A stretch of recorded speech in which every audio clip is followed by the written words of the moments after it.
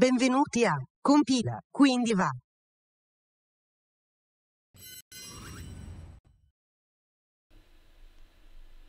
Ciao a tutti, ciao a tutti e benvenuti. Chi c'è, chi non c'è, chi arriverà. Allora, sono un po' scattoso, quindi facciamo un check up di tutto quanto.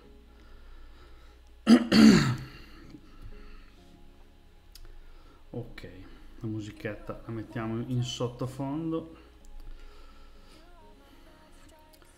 Che non disturbi troppo. Allora, come va? Abbiamo fatto una pausa di, di una settimana per la Befana, ma in realtà non era per la Befana, purtroppo ho avuto un po' di impegni e quindi non sono riuscito e ne, ne ho approfittato sia per finire delle cose per riposarmi quindi. Allora vediamo se funziona tutto. Ci direbbe di sì.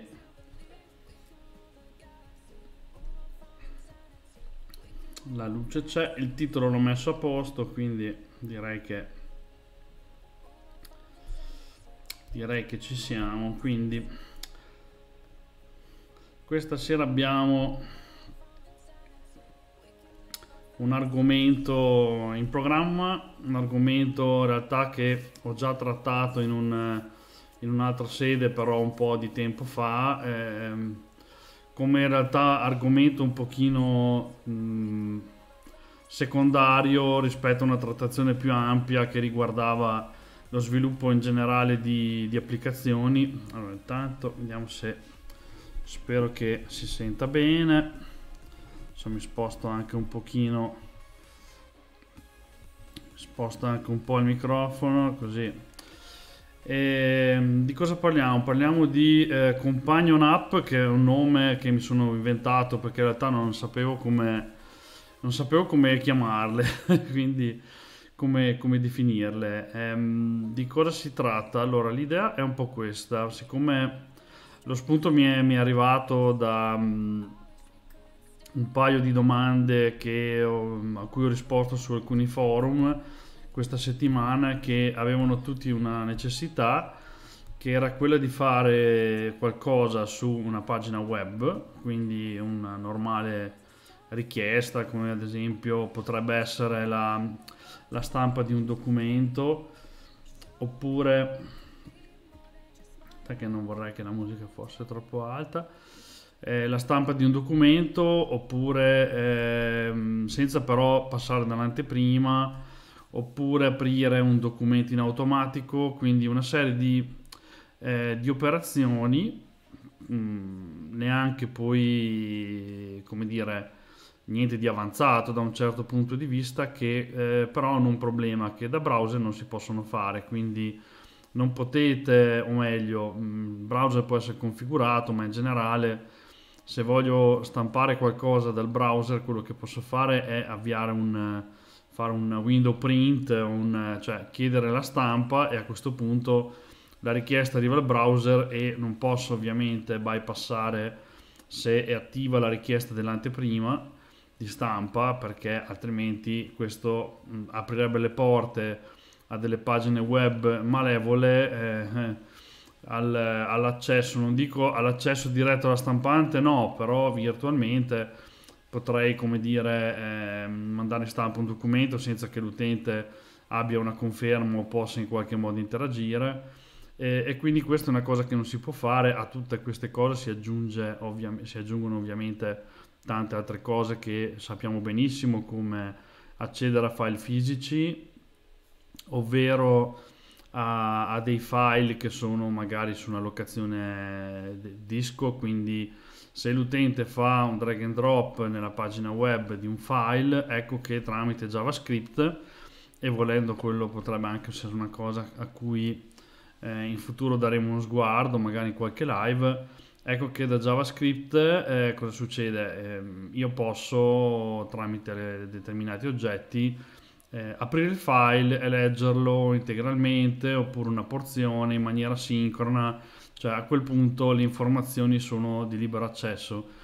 però l'utente deve ovviamente fare un'azione volontaria di drag and drop di selezione di quel file, come normalmente si fa con un file upload, eh, altrimenti è chiaro che dal browser, qualunque cosa io scriva, non ho la possibilità di...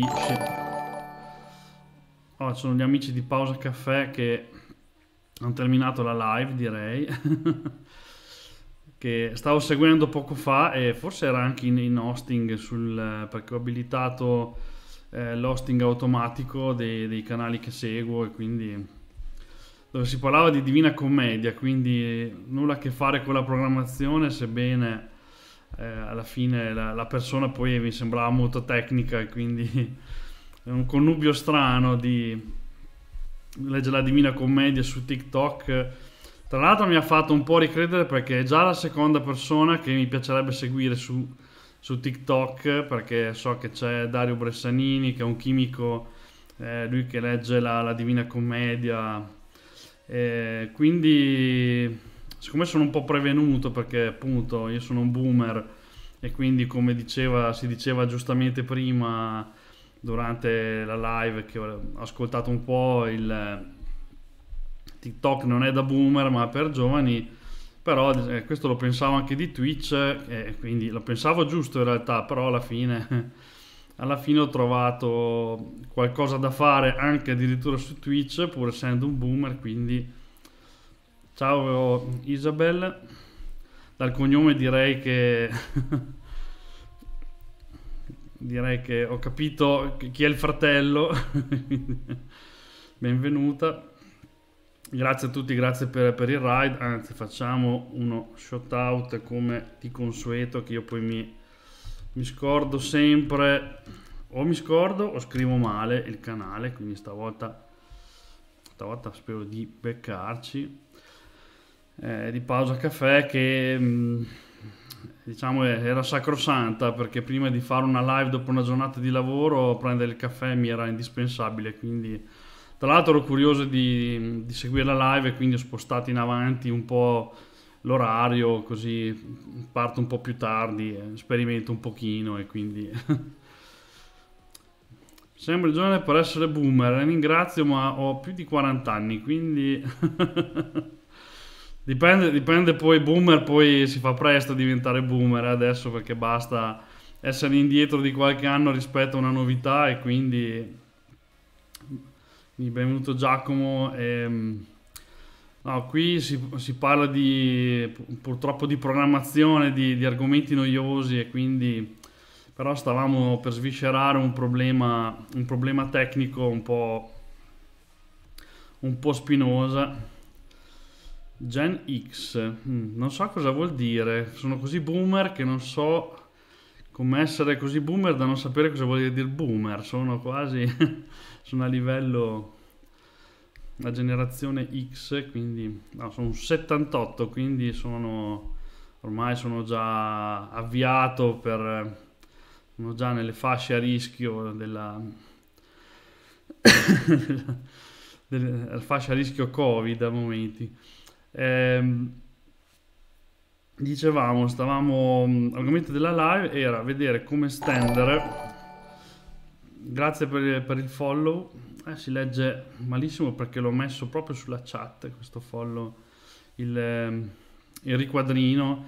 Eh, stavamo affrontando questa problematica, cioè eh, leggere, mm, fare delle operazioni che normalmente nel browser non, non, sarebbero consentite, quindi tipo avviare una stampa in diretta direttamente da, da una pagina web senza passare dall'anteprima oppure andare a leggere dei file su disco, eh, quindi fare operazioni di questo tipo. Sono operazioni che il browser normalmente, non normalmente, in realtà poi tutti i browser eh, lo impediscono e per fortuna perché eh, comunque a livello di sicurezza sarebbe un, un discreto problema se i browser si mettessero, come dire, ad avere accesso diretto al disco e fare delle cose senza il consenso dell'utente Grazie per il follow uh, anche Isabel, Isabel e Deborah. Of Girl Power mi viene da dire, quindi abbiamo le, un, po di, un, po di, presenza finalmente femminile in, in, questi ambiti dove ci sono, c'è troppa, ci sono questi strumenti e queste cose di programmazione le fanno, si vede troppo che ci lavorano troppo i maschi, infatti è tutta roba mh, assurdamente complicata, intricata e ci vuole un po' di, come dire, ci vuole anche un tocco diverso. E, e quindi cosa, mh, di cosa parliamo? Parliamo di fare, di provare a fare, codificare un'applicazione eh, per il desktop, in questo caso per Windows, eh, nel tentativo di agganciarlo, come dire, alla pagina web, cioè il concetto qual è? Che dalla pagina web ovviamente il browser una serie di cose non le può fare, ma noi sappiamo che dal browser possiamo andare a lanciare, a far partire ad esempio delle applicazioni che sono installate sul sistema operativo, eh, ad esempio mi viene in mente quando vedete il, lo scudettino con scritto avvia la chiamata Skype e quindi io vado lì, ci clicco, ehm, clicco sul, sullo scudetto e eh, il browser mi chiede vuoi avviare l'applicazione e in quel caso mi fa avviare infatti non capisco una cippa di sta roba beh lì, lì. bisogna vedere adesso provo a esporla il mio obiettivo è esporla nel modo più chiaro no vabbè ci sta poi ognuno ha il suo ambito quindi lo dico io che ho a che fare magari ad esempio con, eh, conosco ragazze che si occupano di SEO e cose del genere, mi, un, un, giorno mi hanno fatto una carrellata di strumenti, io non ci ho capito nulla di come fanno i posizionamenti, infatti mi, mi, limito a fare il tecnico, a fare i siti e le applicazioni poi su queste cose, quindi è anche normale che ognuno nella, abbia i propri, come dire, le proprie, i propri ambiti di specializzazione e quindi Così come non capisco nulla di meccanica, quindi se mi fermo con la macchina, io su un computer mi posso anche, posso anche tentare un minimo di fare qualcosa, ma... Eh, quindi l'obiettivo è quello di fare un'applicazione, no, no, non di fare Skype ovviamente, ma di eh, provare a fare una, un'applicazione che possa essere invocata allo stesso modo come avviene con Skype, con Teams, ad esempio con Zoom, oppure quando avviate eh, quei webinar. Sa che è partito. C'è questo annuncio che parte fastidioso. Cioè, si possono disabilitare i maledetti annunci. Aiuto. Allora dicevamo scusate la distrazione. Eh, quindi sfruttare questo meccanismo, sfruttare mm, me- questo meccanismo di, dire, di invocazione di un'applicazione per estendere le funzionalità della pagina web. Eh, ossia cosa vuol dire normalmente mh, mm, se avete mai seguito ad esempio un webinar eh, lanciato dalla pagina web tipo quando usate GoToWebinar o applicazioni del genere quello che troviamo nella pagina sostanzialmente è un link che presenta un protocollo. Eh, protocollo è come um, un link che inizia come un link che inizia per HTTP o un link che inizia per FTP. In quel caso c'è un protocollo che molto spesso, um, ad esempio nel caso di Skype, è appunto Skype due punti, nel caso di Zoom magari è Zoom due punti, cioè è un protocollo personalizzato cioè noi abbiamo la possibilità, eh, ad esempio in Windows, di registrare un'applicazione e associarne un protocollo. Cosa vuol dire? Che se in una pagina web troviamo un link, eh, un link HTTP, quindi un link tradizionale, ovviamente quello sarà seguito dall'indirizzo di una pagina, clicchiamo e il browser semplicemente fa una navigazione. Ma se trovo un protocollo che è associato a un'applicazione esterna, il browser eh, cosa farà? Ci chiederà eh, a tutti gli effetti se vogliamo o meno lanciare quell'applicazione. E la cosa carina è che nell'uso di quel protocollo, ciò che segue il protocollo, ovvero ciò che identifica poi l'applicazione che viene scatenata, per così dire, può essere seguito da un parametro, quindi una, una stringa che poi viene fornita in input alla nostra applicazione. Quindi quando ad esempio avete una pagina web che dice il webinar è iniziato, clicca qui per accedere e voi cliccate, vi fa scaricare magari il client.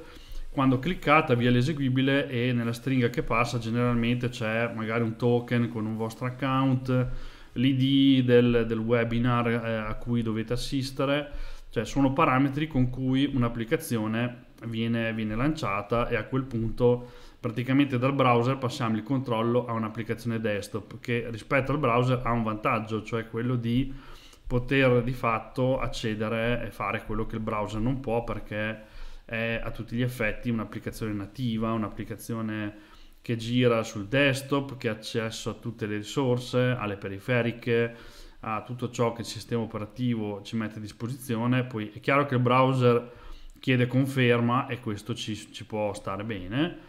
Eh, se magari eh, ci chiede conferma, abbiamo un'applicazione, possiamo non farcela chiedere più e quindi in un certo senso, italianizzando il termine, trastare, cioè dare la fiducia a questa applicazione e ehm, quindi far sì che la richiesta non appaia più e quindi ogni volta che clicchiamo su questo link lanciamo un'applicazione eh, di fatto che a differenza del browser può fare tutto quello che vuole, quello che fa un'applicazione eh, tipica. Questo sembra una cosa secondaria, ma in realtà, allora, nella maggior parte dei siti, ovviamente, questa è una, è una soluzione che si tende magari a, so, a evitare o comunque diventa difficile da implementare su larga scala, soprattutto considerando la, la gamma dei device che, che abbiamo a disposizione, eccetera, eccetera. Però pensate ad esempio a un gestionale eh, o a qualcosa di verticalizzato che avete realizzato per un vostro cliente in formato web. Eh, non so, magari il cliente dice io clicco, avvia un'esportazione eh, l'esportazione si, in realtà non viene fatta scaricando un file, ma produce, non so, in una locazione di rete scelta dal vostro cliente, perché ovviamente parliamo di una soluzione verticalizzata, magari produce un file in questo percorso e il cliente vi chiede, ok, io vorrei che eh, sulla pagina comparisse un link, eh, io lo clicco e apro il documento. Ecco, ovviamente se siete in un browser e cliccate e mettete un collegamento al file, il browser ovviamente proporrà di navigarci e poi ve lo farà scaricare in locale, cioè non vi fa aprire il file originale se è in rete, a maggior ragione se lo restituite tramite il web server, cioè quello che dovreste fare è eh, predisporre un link che dica al sistema operativo apri Excel o Word ed esegui questa cosa. Oppure magari il cliente vi chiede ok ha fatto un'esportazione su una locazione che abbiamo configurato fai sì che eh, dammi un link che quando clicco mi apra che ne so esplora risorse nel caso di Windows che punti direttamente sul file.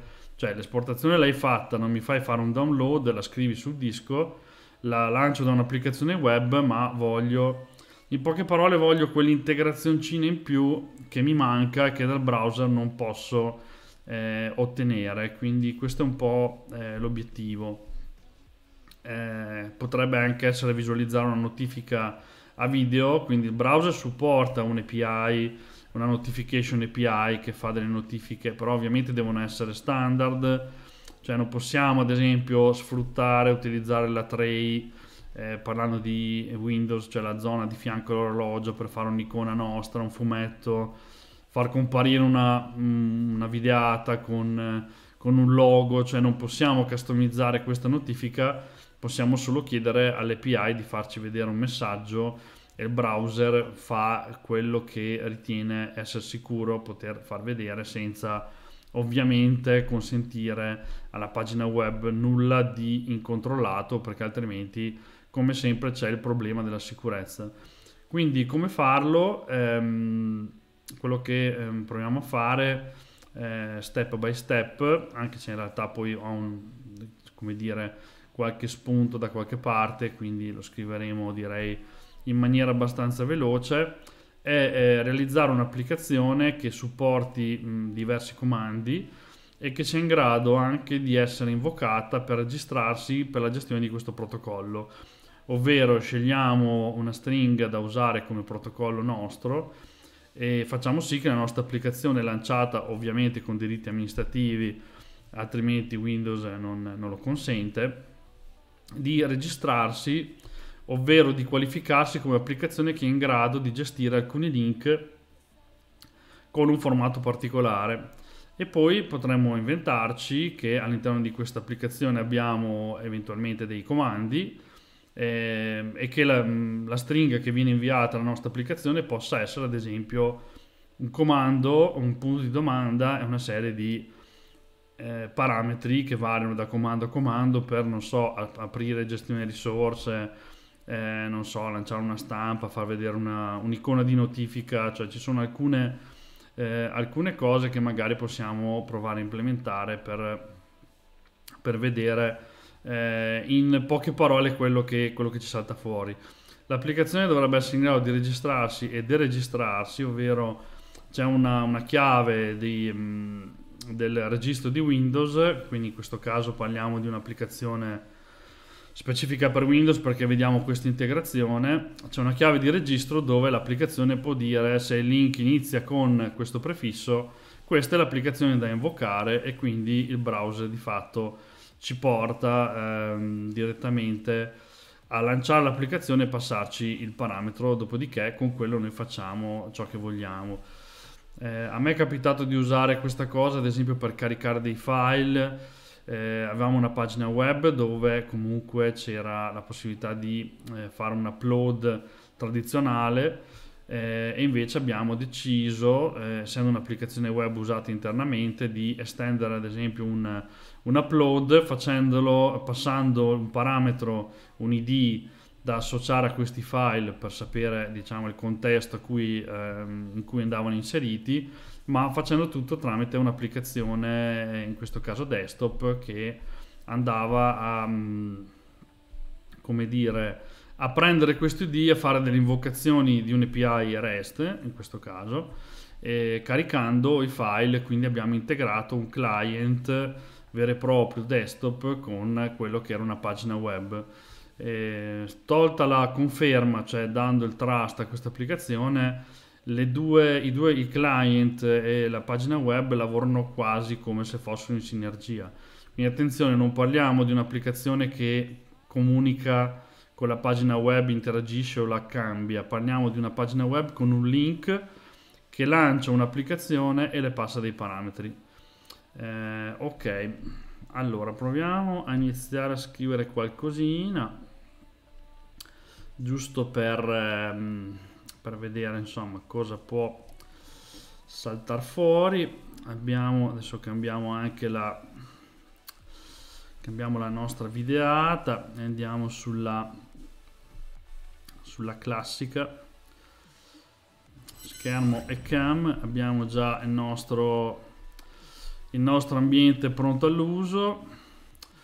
Eh, quindi che facciamo? Facciamo una nuova applicazione eh, VCL, quindi facciamo un'applicazione che eh, fa uso delle eh, cosiddette eh, delle mm, API di Windows in questo caso. Quindi, di solito eh, fino ad oggi abbiamo fatto delle live usando molto FireMonkey, questo abbiamo usato molto la, dire, la parte cross platform di Delphi che è sempre una bella cosa, ma eh, una delle cose più interessanti è anche il fatto di avere la VCL, cioè una libreria che eh, è particolarmente improntata al, al, allo sviluppo di applicazioni Windows ed è molto, molto stabile, molto efficace, quindi facciamo una nuova applicazione.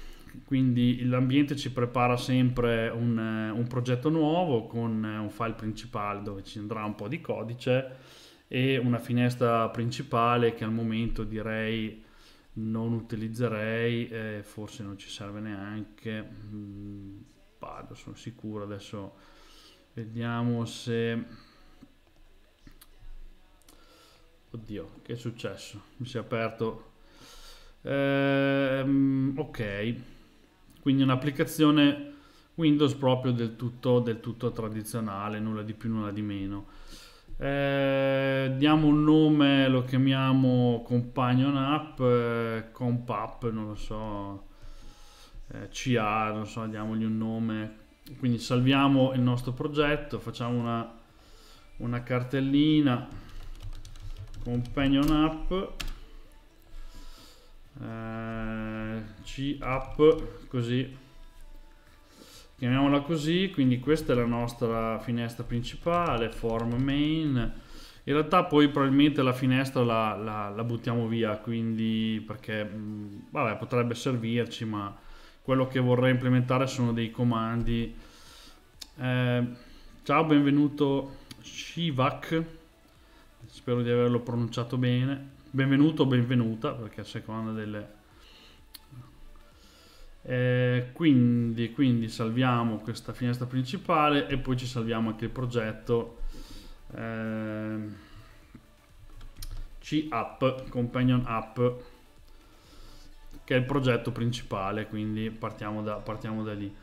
Questo adesso gli diamo un nome, la chiamiamo mainform, ma comunque su questa non, non eh, lavoreremo più di tanto perché il concetto, volendo potremmo metterci dentro pulsanti, potremmo metterci un sacco di roba, ma il concetto è l'integrazione e il... Eh, come dire, il, ehm, il fatto di fargli fare qualcosa potrebbe sì, potrebbe anche essere qualcosa di visuale, ma eh, l'idea è appunto fare come dire una, una, una, mettere dentro della logica. Poi dopo il fatto che abbia una finestra cioè si può fare quello che si vuole quindi quello non è assolutamente un problema.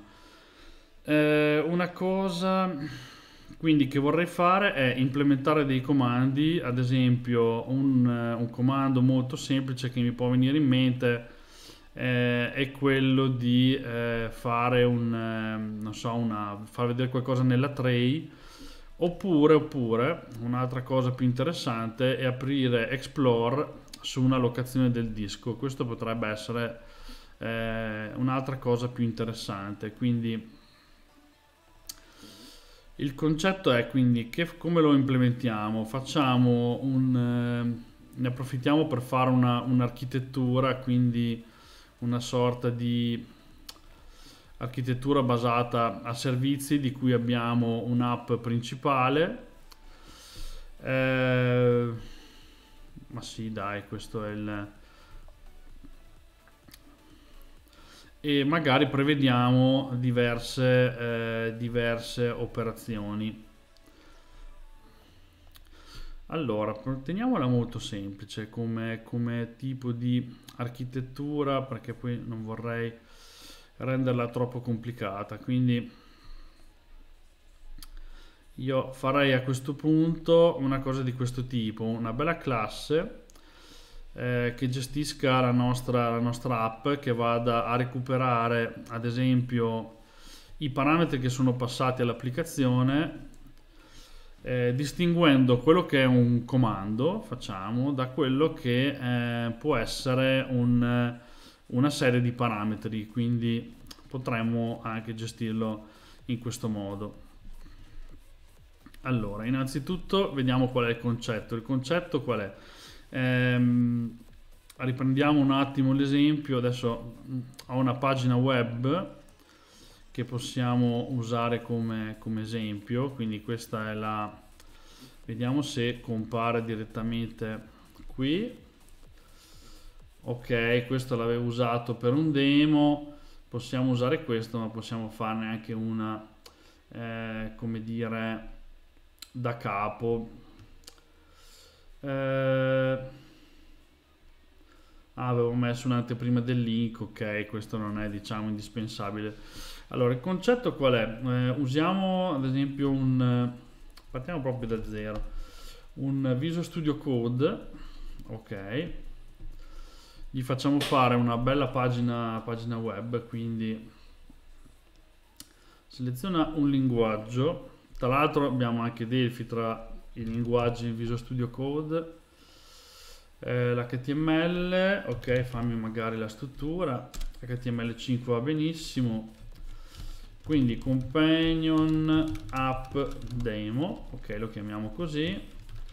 Companion app demo ok non so poi se si legge ma dovrebbe riuscirsi quindi qui eh, il nostro concetto qual è? Ehm, il fatto di usare, di mettere dei link, un link con cui noi possiamo andare a richiamare la nostra applicazione. Quindi vogliamo ad esempio, non so, far vedere in, ehm, su, su, Explorer, eh, questo è un po' il concetto, eh, aprire gestione risorse su una cartella. Quindi noi cosa potremmo fare? Una delle cose che potremmo fare è mettere un link classico e qui usare il protocollo file e mettere ad esempio e2.temp che è una delle cartelle che, che stanno sul mio disco eh, apri cartella allora questo non è andiamo a salvare ad esempio qui la nostra pagina. Ok demo html l'andiamo ad aprire. Ok. Vediamo se parte. Apri cartella. Apri cartella che cosa fa di fatto? Eh, fa, dice al browser di andare nella cartella temp e quindi arriviamo qui che abbiamo un, uh, un indice di E, cioè abbiamo una navigazione in file system tramite eh, il browser, cioè non è quello che vogliamo noi, non vogliamo sfogliare eh, il disco dentro il browser, vogliamo che si apra gestione risorse. Questo è una cosa che eh, ovviamente da browser non è possibile fare perché da browser non possiamo lanciare ehm, ehm, ovviamente da JavaScript non possiamo eseguire questo comando a meno di non eh, interagire tramite protocollo con un programma esterno. Quindi in realtà potremmo configurare Explore risorse per associarsi a un link e partire in automatico, però quello che potremmo fare è associare una nostra applicazione a un nostro protocollo, far sì che l'applicazione venga chiamata dal browser e eh, venga passato un percorso e la nostra applicazione cosa fa? Va a invocare Explorer e lo fa aprire su questo percorso. Eh, questo può essere uno degli esempi. Oppure, eh, non so, passiamo un messaggio e facciamo aprire una message box, che ne so, questo abbiamo tanti ovviamente, mh, eh, tante soluzioni possibili, tante cose. La nostra applicazione virtualmente può fare di tutto, potrebbe essere un gestionale che si apre e che automaticamente prende l'id di una fattura, la visualizza, cioè possiamo passare qualsiasi tipo di parametro. Quindi la prima cosa da fare è inventarci un protocollo, quindi al posto di questo file potremmo dire capp, companion app. Ehm, spero di non aver beccato il nome di un protocollo standard, eh, ma questo lo scopriamo subito perché se noi apriamo la pagina di prima, quindi questa demo, e clicco qui non succede nulla perché non c'è nulla all'interno del mio sistema che sia associato a questo protocollo. Cioè questo è una qui potremmo scrivere anche Pippo eh, cioè um, è, una, è una dicitura che scegliamo noi quindi dovremmo aver cura di sceglierla il più eh, come dire custom possibile. Quindi io ad esempio potrei dire CQV compila quindi va e metterci un nome personalizzato e, che, e usare il nome che voglio io, quindi l'importante è che sia il più univoco possibile perché ovviamente se mettiamo una cosa come HTTP e FTP ci stiamo già eh, un po' um, come dire tagliando come si dice ci stiamo già un po' fregando con le nostre mani. Quindi usiamo questo CApp companion o se volete companion, eh, companion app il più lungo possibile, tanto poi... E abbiamo un link che sta praticamente invocando un protocollo, quindi questo è il nome del protocollo, eh, questo in realtà slash slash non, non ci vuole direi. Eh, aspetta che magari riguardo, riguardo il demo che avevo fatto a suo tempo, non si sa mai che magari mi ricordi male eh, cioè quello che segue i due punti, quello che viene dopo qui, eh, ovviamente è eh, quello che viene veicolato nella nostra applicazione. Quindi il formato è protocollo, due punti, eh, parametri. Eh, cosa potremmo fare? In realtà se vogliamo che la nostra applicazione eh, ad esempio abbia più funzioni, potremmo eh, decidere di usare un formato di questo tipo, ovvero mettere un comando, mettere un punto di domanda e poi farlo seguire da un, eh, da un percorso, ad esempio io ho un percorso di file di test condivisi, perché magari potremmo avere questo Explore, potremmo avere un'altra applicazione che fa, non so, l'eco di un messaggio eh, eco e qui mettiamo eh, testo messaggio. Visualizza messaggio.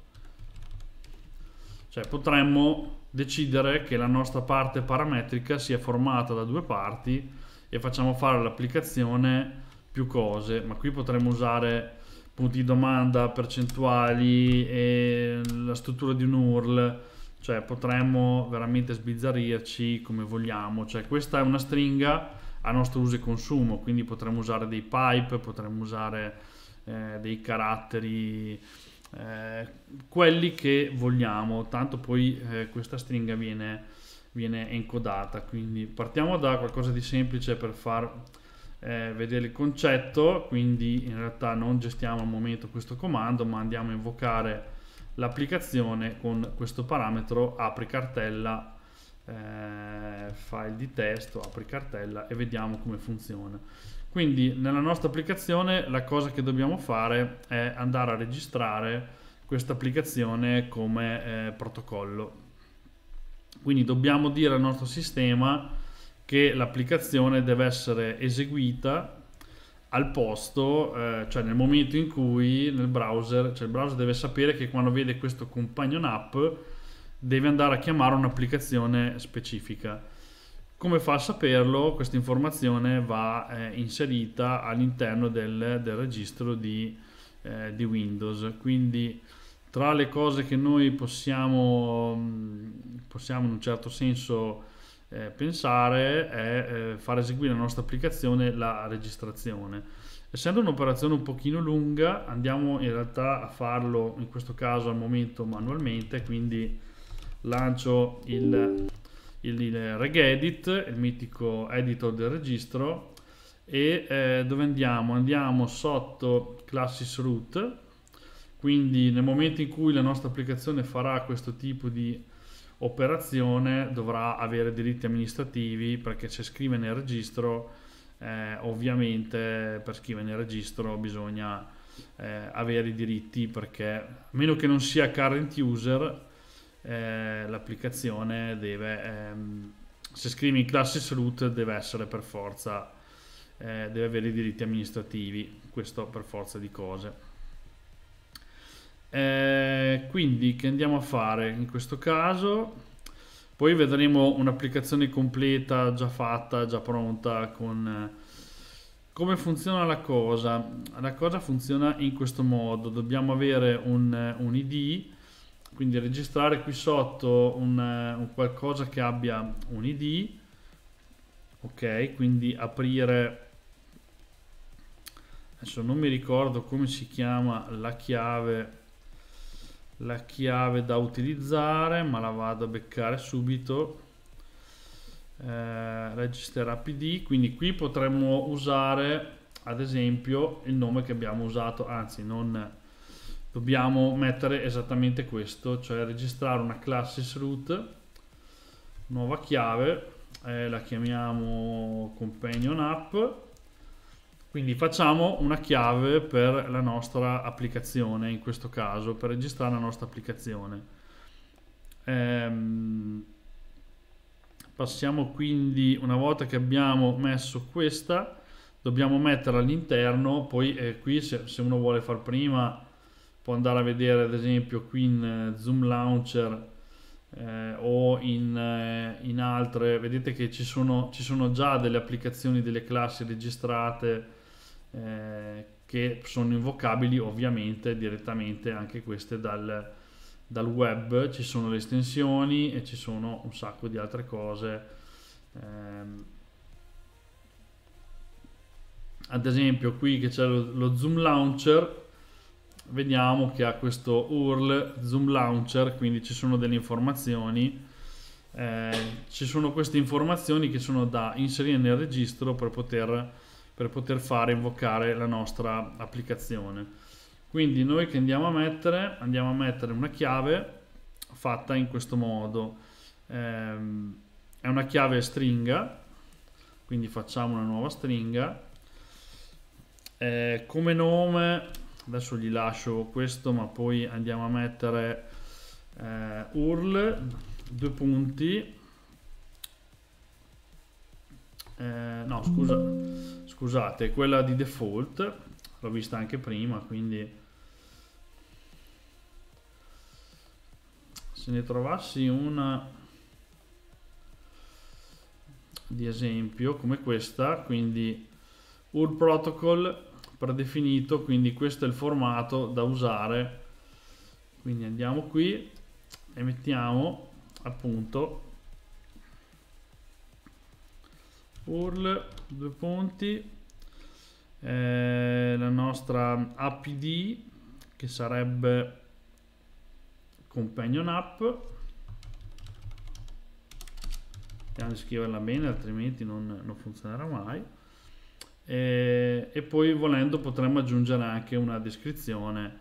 Eh, al momento la lascio se possibile la lascio vuota. Adesso vedo vedo un po' eh,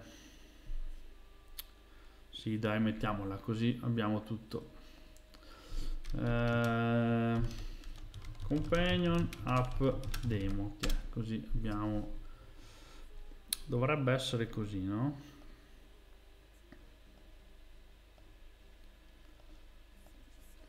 Ok poi dobbiamo aggiungere un'altra serie di di chiavi.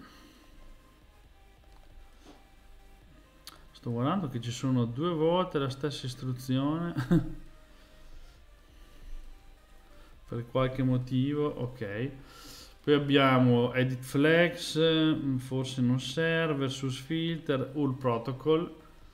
Quindi qui dobbiamo aggiungere questa chiave eh, in realtà le più importanti sono come poi vi fa vedere qui ad esempio qui c'è ehm, la stessa cosa zoom launcher quindi qui c'è una, una descrizione da utilizzare URL protocol quindi anche qui possiamo usare eh, come dire una descrizione il tag URL protocol. Dobbiamo creare la sottochiave shell ok shell e all'interno di shell una chiave open. Quindi all'interno di shell abbiamo una chiave open e poi come questa direi a chiave command che si chiama command esatto. Nuova chiave command.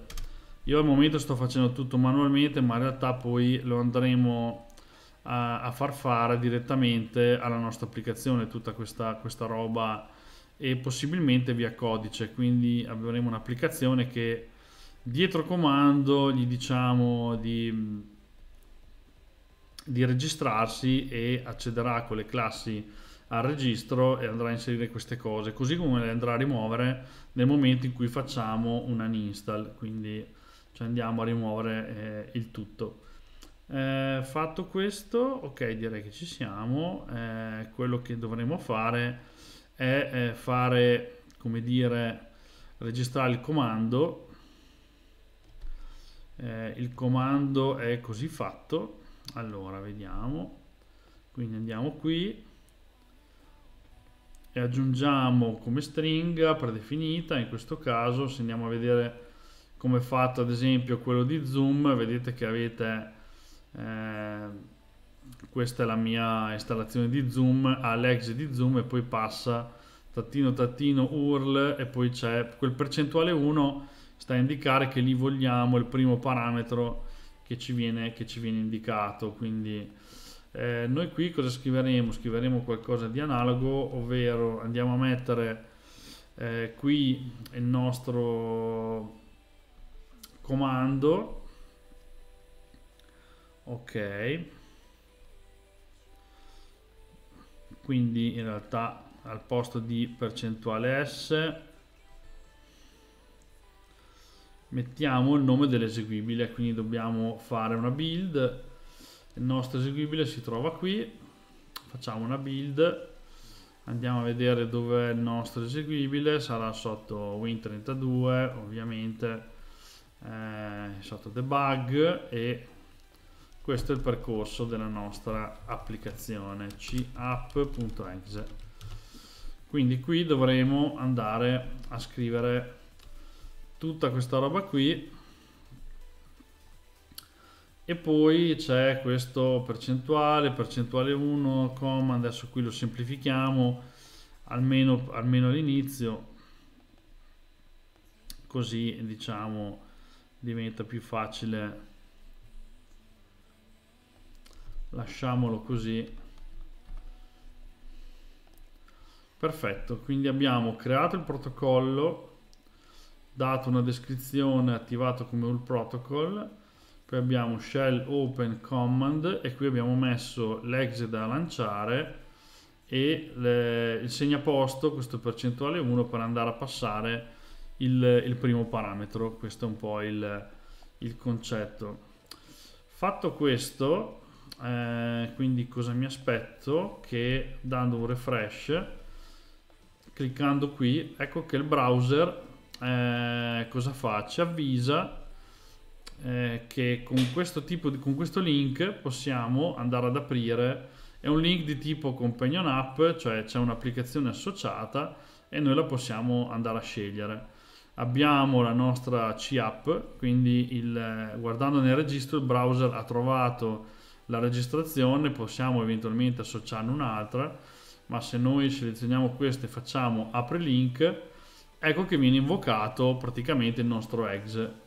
E quindi ci troviamo la finestra vuota perché il nostro exe è, è fatto così, cioè una, abbiamo creato un'applicazione vuota, abbiamo messo un main form, se noi lanciamo questo eseguibile vediamo apparire eh, la, la finestra principale e l'applicazione di fatto non fa nulla ma ovviamente l'applicazione riceve dei parametri potremmo trattarli e quindi farci un po' tutto quello che vogliamo. Quindi eh, vediamo ad esempio di farla reagire, vediamo se riusciamo a leggere eh, le informazioni che arrivano, quindi intanto la chiudiamo. È chiaro che questa operazione ogni volta che noi clicchiamo possiamo dirgli di, anche di consenti sempre, quindi qui diciamo al browser di non avvisarci più e a quel punto se facciamo questa scelta e andiamo ad aprire, anche qui potremo dirgli usa sempre questa applicazione.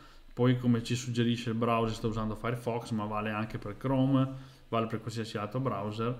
Possiamo dirgli di eh, modificare l'impostazione affinché eh, memorizzi. Quindi gli abbiamo detto di non avvisarmi più di lanciare questa applicazione di prenderla come default a questo punto lui la apre tutte le volte che adesso clicchiamo la, la finestra viene aperta quindi io clicco qui e il browser il browser lancia praticamente un'applicazione eh, passandogli teoricamente questa cosa che vediamo qui giù, ovvero questo è il link, quindi questo è il protocollo che attiva l'app a questo punto e questa è la parte che per noi dovrebbe essere eh, parametrica.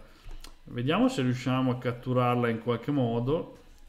Eh, ovvero mh, viene lanciato questa la main form compare eh, e quindi nella main form potremmo gestirci l'evento di creazione potremmo metterci ad esempio una casella di testo molto velocemente piuttosto lunga così se arrivano dei parametri eh, come dire voluminosi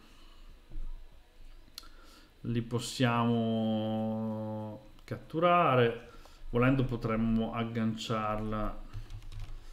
Agganciati in alto magari con, con, un po' di margine così qui usiamo il quick edit così eh, allinea con usando i margini cambia tutti i margini metti eh, 9 pixel così. Così sta un po' nel mezzo però rimane rimane ancorata la nostra finestra che se la dimensioniamo e poi metto un bel pulsante questo pulsante invece lo metto in basso anche lui vado a fare un uh, quick edit gli dico di allinearsi magari lo facciamo un po' più grossino un po' più grossino anche questo. Aumentiamo il font di tutta la maschera così magari così magari si vede meglio anche in live così tanto i controlli prendono. Allora name questo è il nostro close button pulsante di chiusura.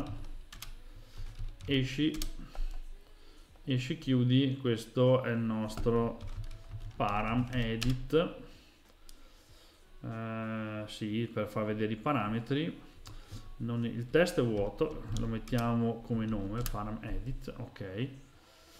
Quindi tanto poi la, col protocollo la nostra applicazione è già registrata quindi nel momento in cui noi adesso la andiamo a modificare quando verrà rilanciata verrà rilanciata ovviamente eh, come dire verrà rilanciata ovviamente la nuova versione cioè noi stiamo sostituendo facendo delle modifiche quando facciamo build l'ex vecchio viene sostituito dal nuovo e quando il browser lancia la, l'applicazione ovviamente ci lancerà eh, ver- l'ultima versione quindi Qui cosa volevo fare? Torniamo qui, volevo recuperare da questi eh, identificatori globali eh, paramstr di 0, questo è l'oggetto che ci estrae separati da spazio, eh, cioè non l'oggetto, la funzione che ci estrae i parametri. Se mettiamo 0 abbiamo il nome dell'applicazione dell'exe, che potrebbe interessarci come no se mettiamo 1 teoricamente abbiamo il primo parametro quindi cosa faccio? faccio paramedit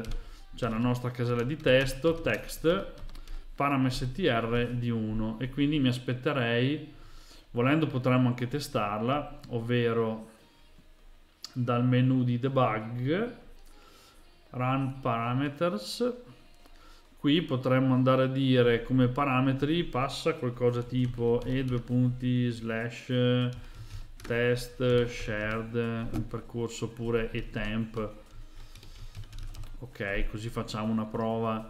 Questi sono i parametri che passiamo, quindi se io in debug provo a lanciare l'applicazione, anzi senza debug ma eh, lui lo lancia con i parametri e il primo parametro ce lo dovremmo trovare esattamente qui.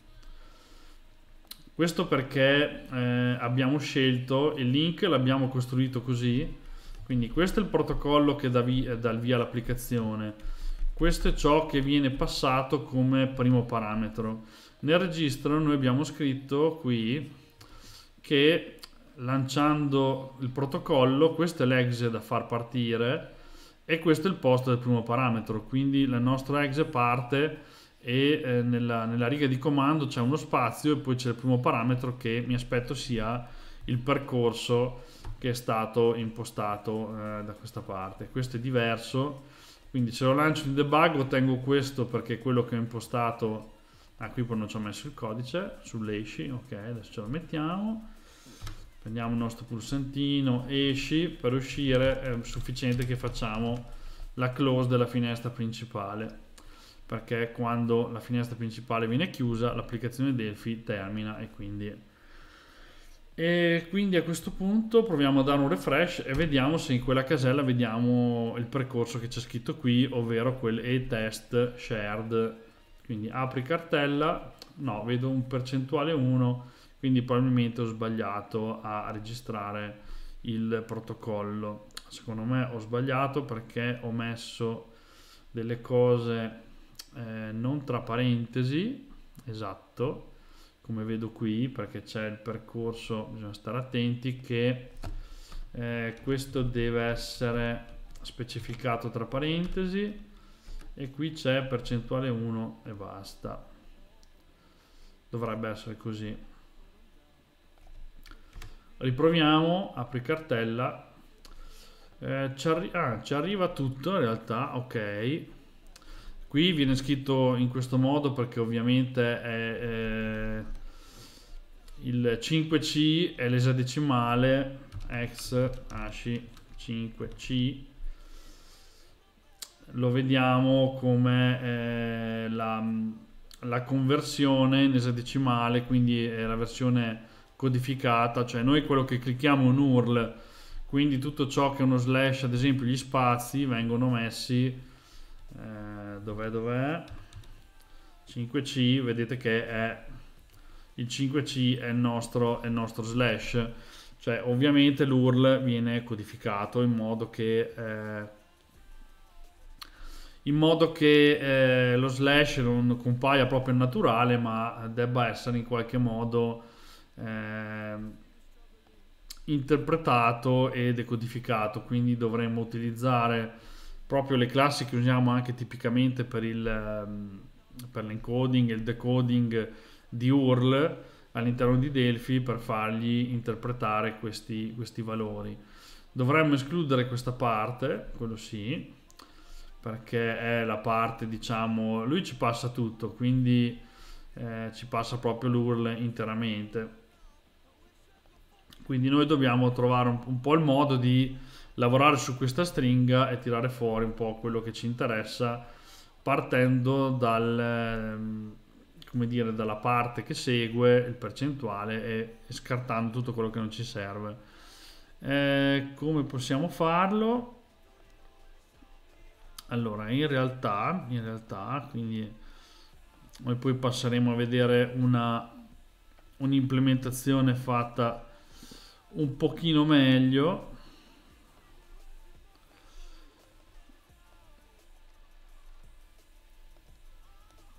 qui stavo guardando che mm, mm, questo è interessante interessante.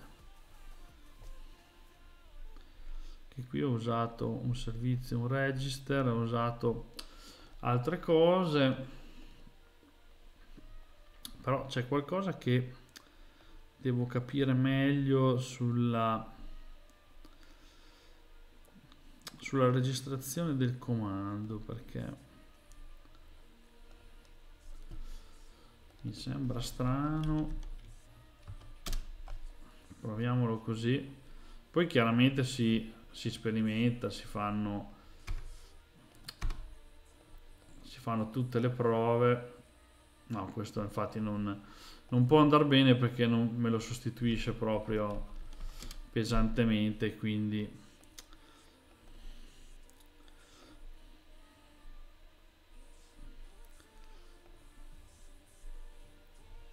va bene dopo vediamo vediamo magari come si comporta. Eh, ok allora passiamo in questo caso a qualcosa di diverso. Se invece metto un indirizzo vediamo qualcosa del tipo vediamo se ci viene passato sempre in maniera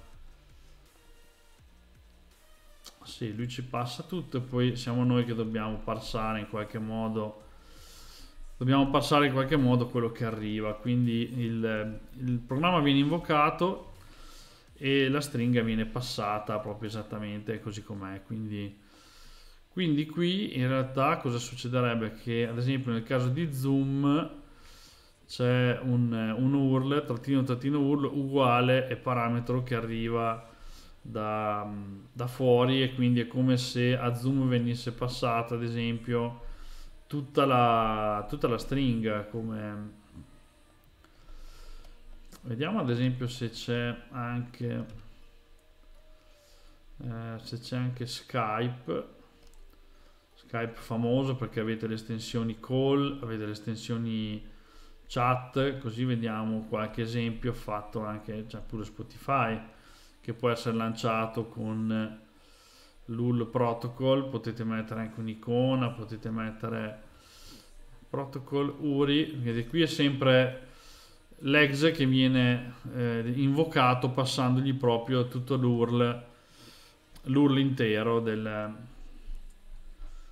che arriva dalla pagina web. Dunque andare in ordine alfabetico devo andare su ovviamente. Skype qui c'è Skype Skype Meet Now, Skype Cast,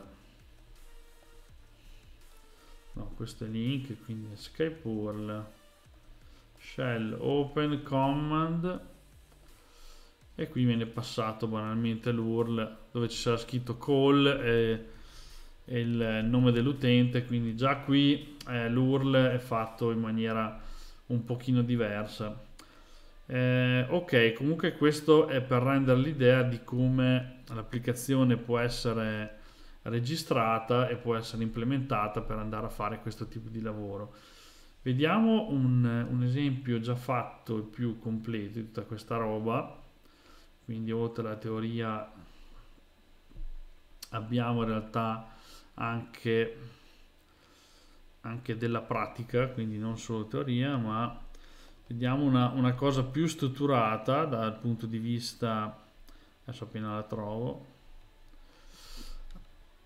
esatto, prendiamo questa, così la andiamo ad aprire e vediamo un'applicazione fatta come dire un po' più strutturata che fa un po' più di cose. E...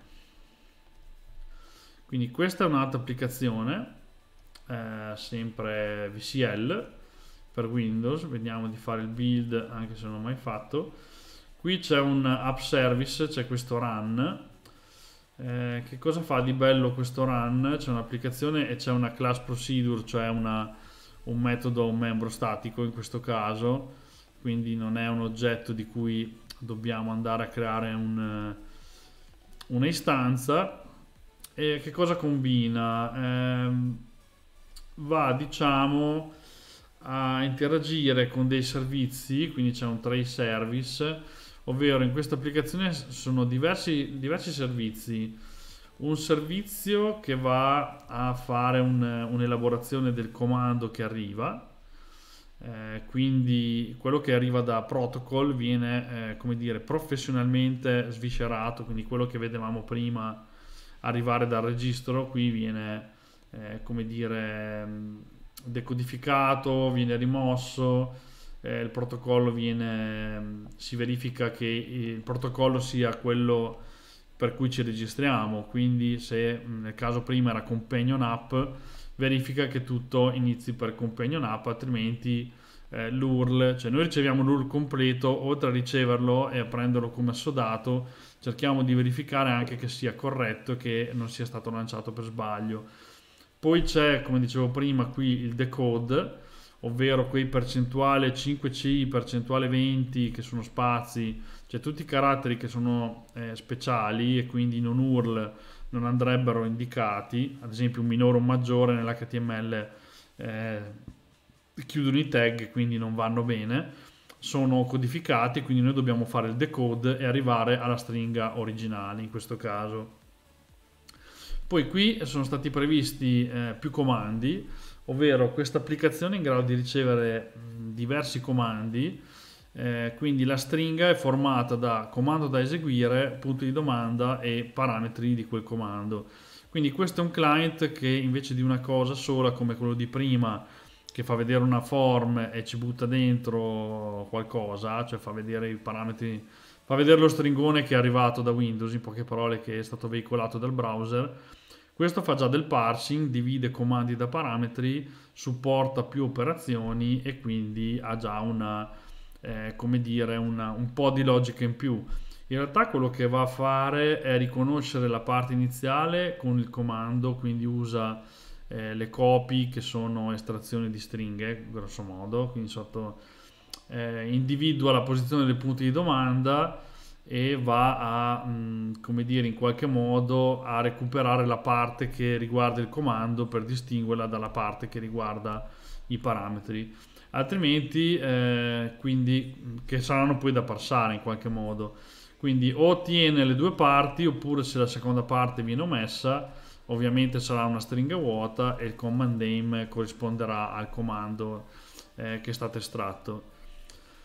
Se il comando rimane vuoto segnalerà un errore per dire guarda che non mi hai indicato il comando, altrimenti farà una find class, quindi find class è quella funzione eh, di Delphi che va a ricercare una classe per nome.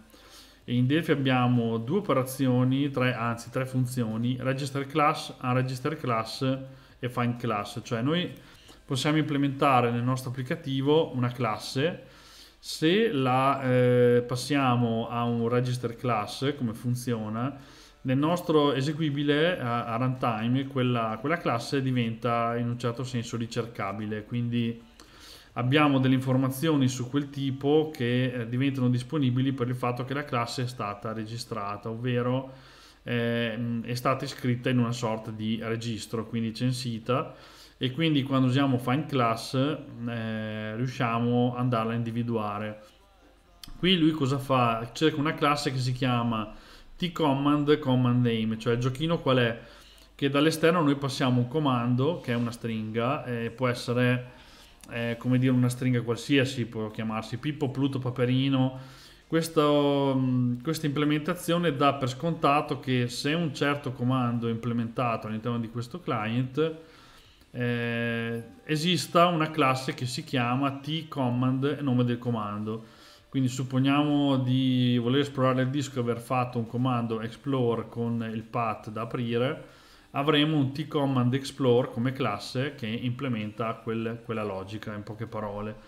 Quindi usando la programmazione oggetti facciamo un comando di base e estendendo quella classe possiamo implementare, aggiungere diversi comandi perché qui il concetto qual è? Che noi vogliamo estendere la pagina web con delle funzionalità, le funzionalità sono implementate in una companion app, potremmo ad esempio avere un gestionale dove le cose che vogliamo fare sono n e magari non andiamo a replicare la struttura di un'applicazione, di una companion app facendone mille, ne facciamo una che però sia in grado di fare magari determinate cose, quindi accompagniamo eh, con un'applicazione il nostro applicativo web facendo sì che non supportiamo una sola operazione ma ci inventiamo una sorta di standard per poter consentire all'applicazione web di eseguire e passare più comandi e ogni comando di passargli di fatto i suoi parametri nel loro formato. Quindi eh, praticamente creiamo già qualcosa di più completo.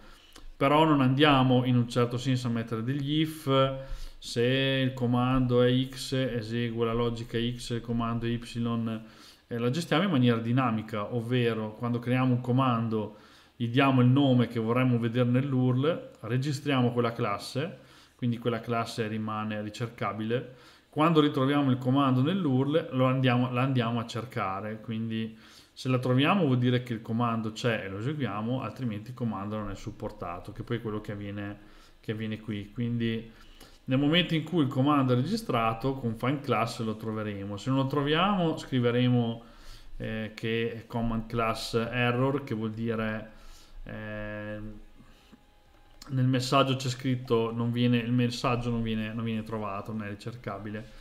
Altrimenti eh, usiamo la, la classe, facciamo create perché noi facciamo una find class troviamo la classe e quella sarebbe diciamo una classe generica potrebbe essere un t-object ma noi lo andiamo a castare al comando da eseguire. Ovvero cosa facciamo? Eh, diciamo che non è una classe qualsiasi ma sarà una classe che discende dalla classe base dei comandi eh, e quindi è la classe di un comando. E quindi facendo la create che è il costruttore sappiamo che si aspetterà una stringa con gli argomenti che è la parte parametrica dell'URL. Quindi arriva l'URL, estraiamo il nome del comando, cerchiamo una classe di quel tipo, castiamo quel tipo alla command class, cioè non è una classe generica ma è una classe specifica che appartiene a una certa famiglia di classi, quelle dei comandi. Quindi sappiamo che il costruttore accetta certi argomenti, l'andiamo a creare e andiamo a fare l'execute, cioè di fatto eseguiamo quel, quel comando. Cioè, questa infrastruttura cosa ci consente? Che nel momento in cui abbiamo dei comandi già implementati e vogliamo fare uno nuovo, creiamo una nuova classe che eredita dalla classe base dei comandi, gli diamo come nome il nome del comando che vorremmo mettere nell'URL e poi implementiamo eh, l'execute e siamo a posto. A quel punto abbiamo già aggiunto un comando nuovo alla nostra applicazione. Qualunque cosa accada, se ci sono errori, abbiamo questo message box service error. Message box service non è altro che una classe che sta qui che dispone di diversi eh, metodi.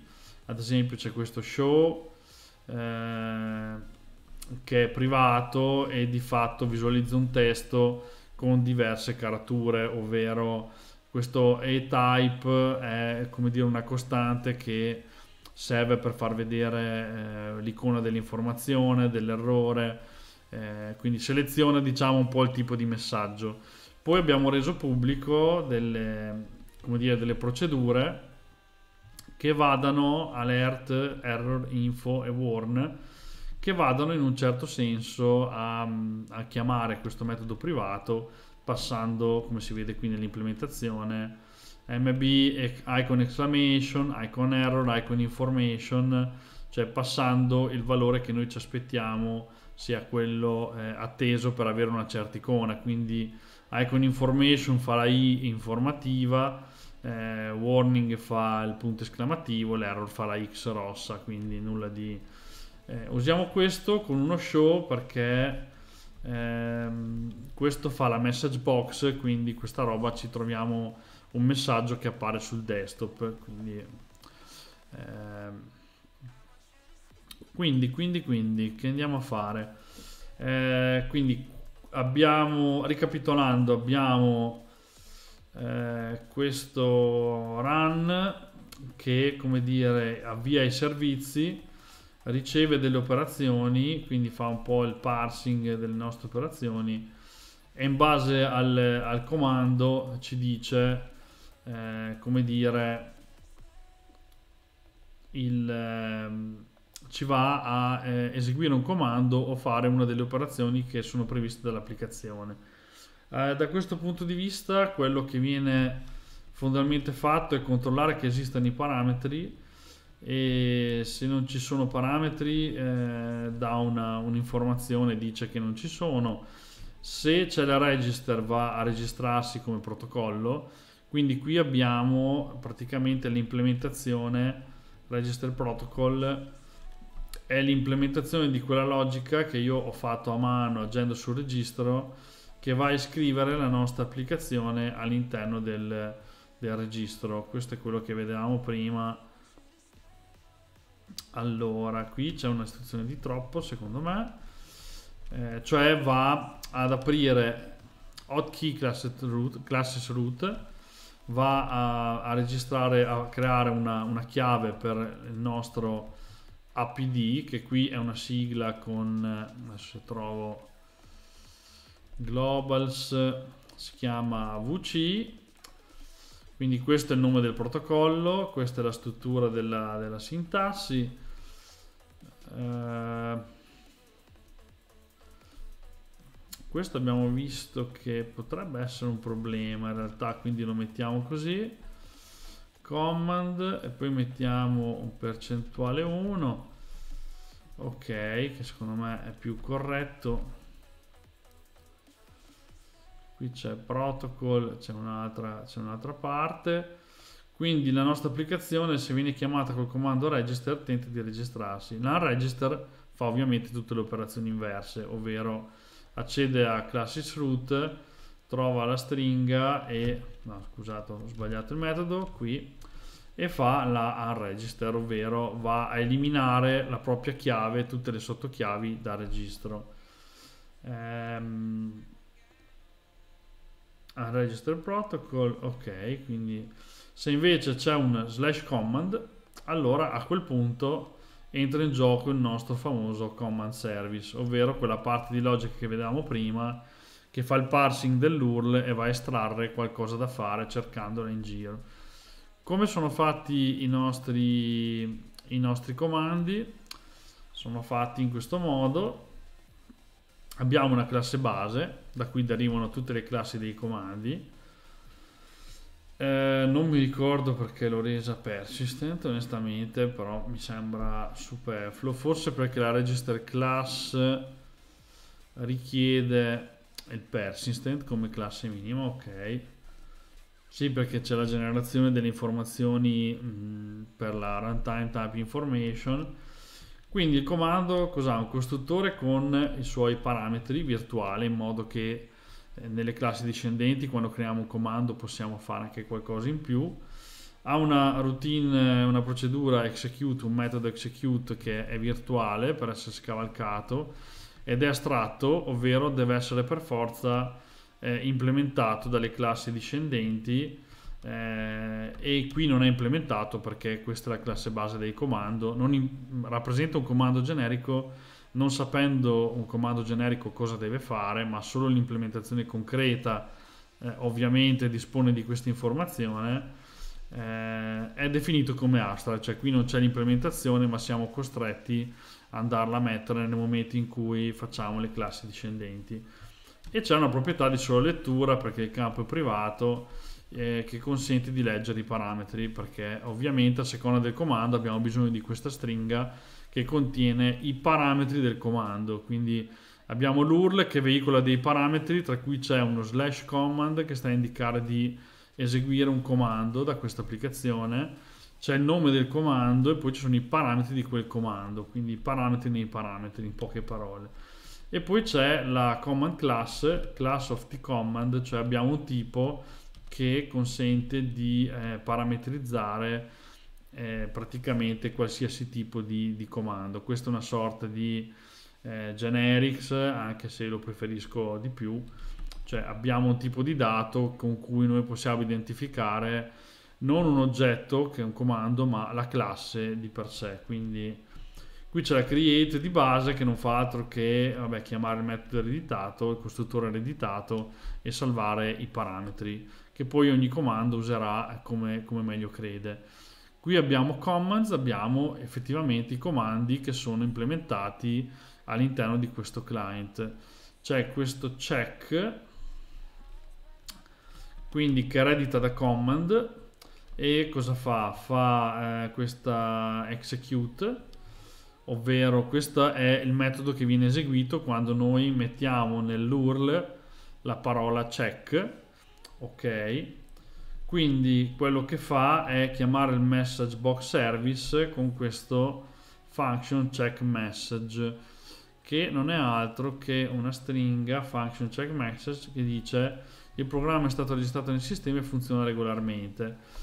Ovvero un comando semplicissimo che chiamando la message box ci fa apparire a video un'informazione che dice ok l'applicazione va e, e quindi è un check Qui c'è la nostra register class, quindi ecco che abbiamo implementato il comando e qui inizializzazione, cioè quando questa unit viene caricata, la unit va nella system classes e va a registrare questo comando, va a censire questo comando, cioè lo rende individuabile per nome cercando tcommand seguito da check, che è il comando che noi andiamo a specificare nell'URL. Eh, la stessa vale per questo echo che fa una cosina in più, ovvero nell'execute chiama sempre il message box service, quindi fa sempre vedere una casella di messaggio, ma nell'info invece che una costante passa gli argomenti.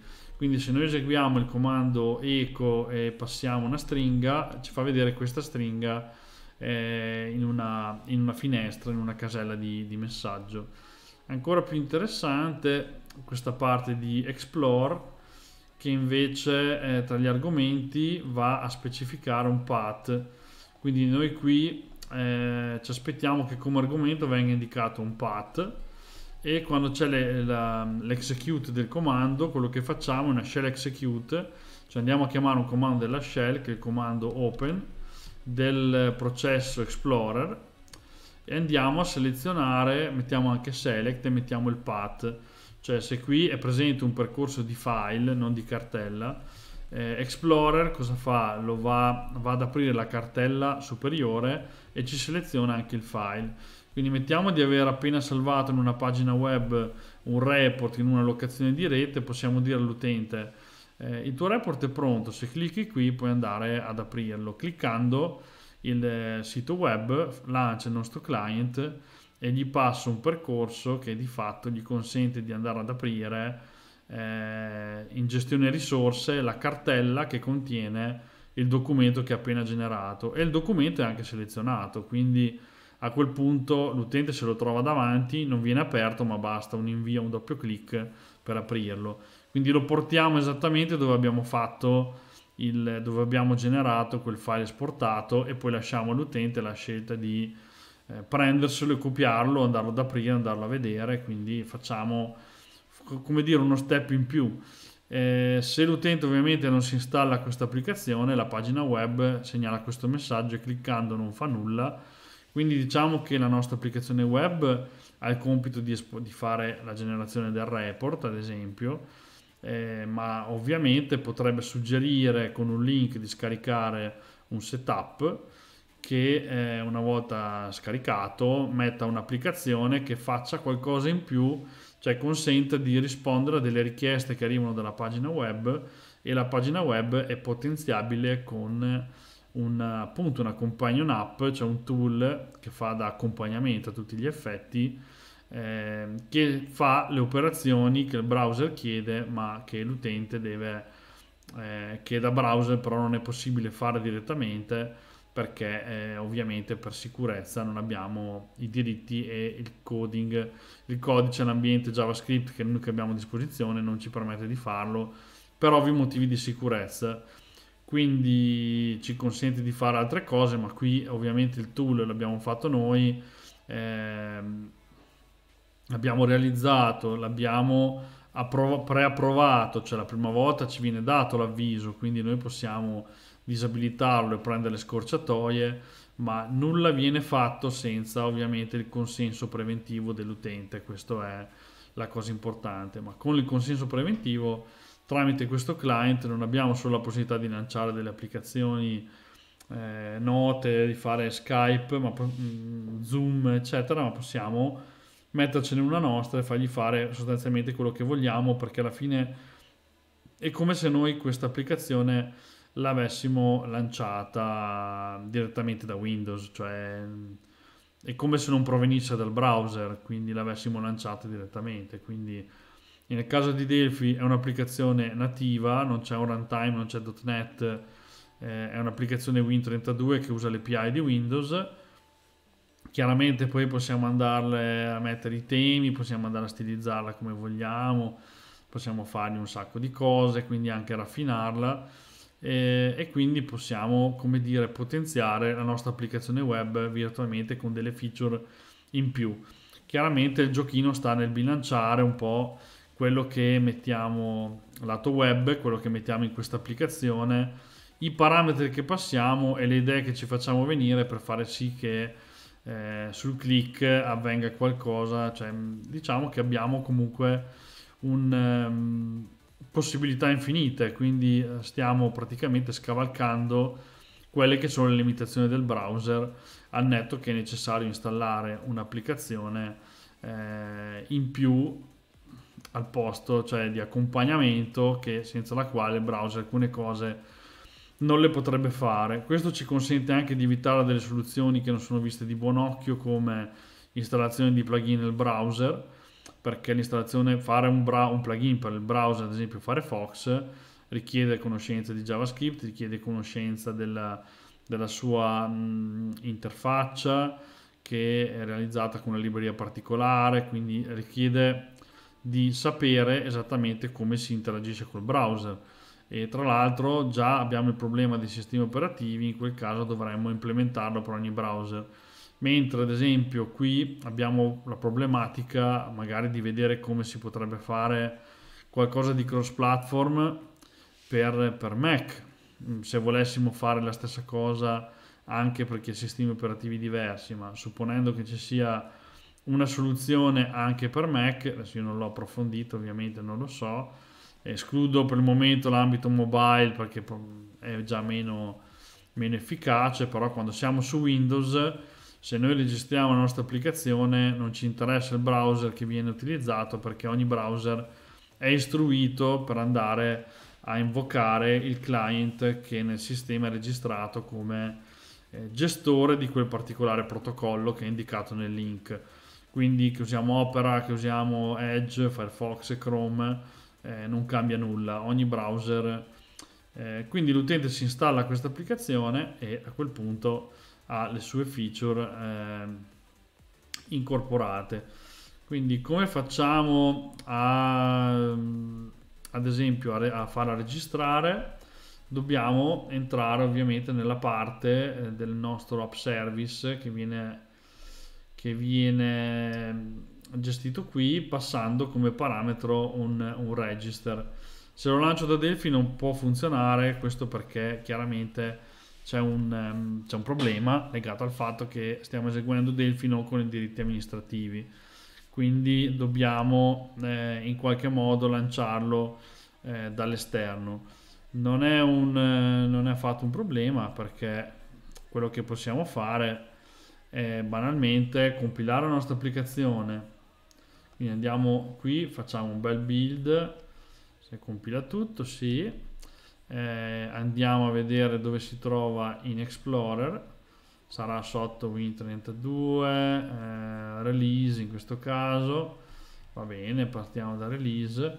Ci copiamo questo path e andiamo a lanciare il terminale però con eh, as administrator come amministratore altrimenti non riusciamo a registrarlo. Quindi facciamo cd eh, cambiamo il percorso su E percorso lunghissimo. Eh, si chiama web client in questo caso web client.exe facciamo register ok. Eh, dovrebbe aver già fatto tutto sì perché siamo, siamo qui. E quindi dovremmo trovare la registrazione del nostro web client all'interno della chiave quindi anche questa cosa eh, quello che io qui ho fatto a mano lo facciamo fare adesso gli do un F5 ho un setup chiaramente web web course non vedo web client ah è qua VC perfetto. Vedete che l'applicazione ha già inserito all'interno già tutto quello che serve. Il comando qui ha messo perché l'applicazione tra l'altro conosce il suo path, il suo percorso e quindi eh, come dire è in grado di andare a mettere nell'URL se stessa.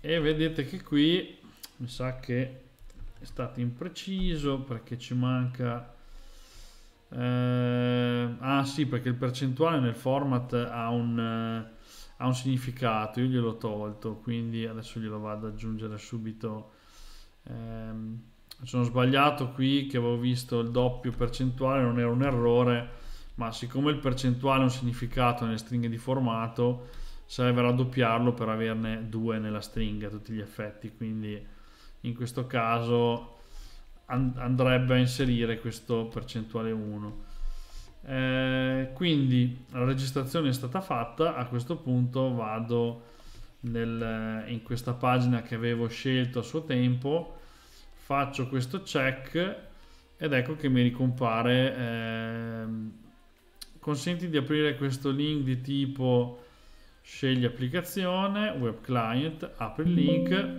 ed ecco che la nostra applicazione è partita e ha fatto il, il mitico il messaggio.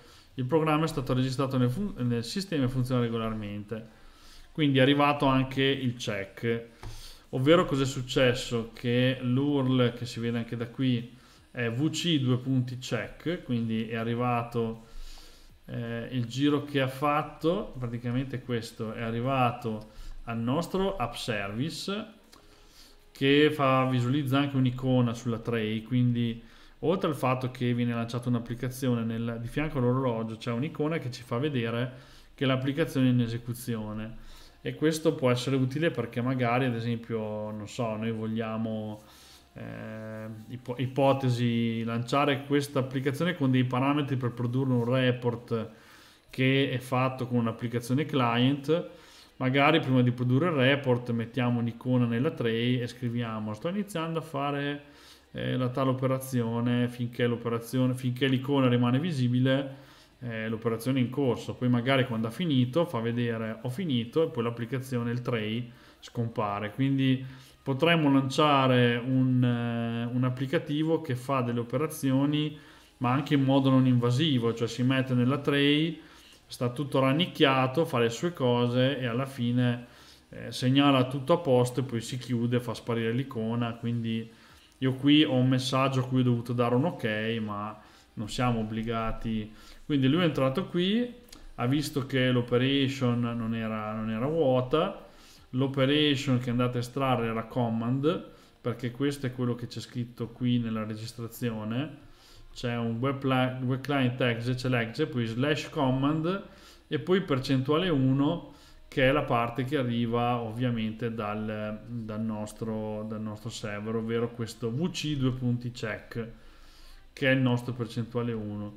Quindi essendoci command è entrato in questo execute con l'URL da cui è stato eliminato il protocollo, cioè quella parte VC due punti, eh, in modo che ehm, quindi ha tolto la parte iniziale dell'URL, ha preso la parte di check, l'ha decodificata e siccome dopo il check non c'è niente, i parametri sono, eh, sono vuoti. Eh, length di check non è eh, maggiore di 0, quindi il comando ce l'abbiamo. È andato a cercare una classe che si chiama tcommand check. E noi ce l'abbiamo perché qui c'è tcommand check implementata. Quindi l'abbiamo implementata e all'interno eh, abbiamo fatto anche la register. Quindi in, in ogni unit noi abbiamo un comando e la sua registrazione che dice il comando implementato e lo vado anche a inserire in quell'albo che viene ehm, esplorato quando si fa la find usando il nome della classe come, come parametro. Quindi il command check c'è ed è stato registrato. Quindi qui nel momento in cui cerca tcommand più command name che abbiamo detto essere check, ha cercato il tcommand check, ha trovato una classe generica, l'ha castata come tcommand class, ovvero ha trovato una classe ma non è una t-object, non è un t-component, non è una classe generica di Delphi, ma è una t-command, cioè ha trovato una classe che è un t-command, ovvero è una classe che rappresenta eh, un tipo con però un costruttore con argomenti ben specifici, un metodo execute e quindi va di fatto a richiamare il costruttore per creare il comando e va a chiamare l'execute. È chiaro che qui si fa riferimento alla classe base, ma siccome eh, il costruttore virtuale, l'execute virtuale per polimorfismo, quindi programmazione oggetti, viene eseguita la versione del metodo, eh, vabbè, il costruttore viene eseguito quello di base che prende i parametri, gli argument e se li salva. In questo caso gli argument sono una stringa vuota, quindi non ci interessano. Quando viene chiamato l'execute, siccome nel tcommand è virtuale, in realtà viene chiamato l'execute del check che va a fare message box service info, va a prendere quel messaggio e lo visualizza, fa questo show, lo visualizza con una message box come abbiamo visto prima. Adesso ci arrivo, message box, prende la caption, nella caption c'è il titolo dell'applicazione, prende in testo e gli dice se è un system model vai in primo piano stai soprattutto eh, soprattutto le altre finestre e eh, gli abbiamo assegnato questo MB icon information che fa il più di fatto. Quindi fa la, scusate la i di, di informazioni. Vogliamo eseguire un altro comando? Quindi questo è senza parametri vc 2 punti check quindi al command arriva vc2.check e vede che è un comando. Qui vc2.echo quindi andrà a cercare un command echo e con quel punto di domanda separiamo il comando da quello che è il parametro che in questo caso è, era, era, del FIDEI eh, 2020 che era del FIDEI di un paio di anni fa. Ehm, quindi di fatto questa volta abbiamo anche degli argument quindi cosa fa? Andrà a fare il parsing, tutto il, il check, tutto quello che abbiamo già visto. Adesso recupero quella parte. Eh, arriverà qui che vorrà t-command echo e negli argument non saranno vuoti ma saranno la parte che segue il command separator ovvero il, eh, il punto di domanda eh, quindi quello che segue diventa l'argomento quindi va a fare la create passando quei parametri e poi l'execute. Il command è echo quindi cerca una classe che si chiama tcommand echo salva gli argomenti fa l'execute. Nell'execute cosa succede? Che abbiamo una message box dove visualizziamo come messaggio informativo self arguments cioè i parametri che sono stati eh, passati.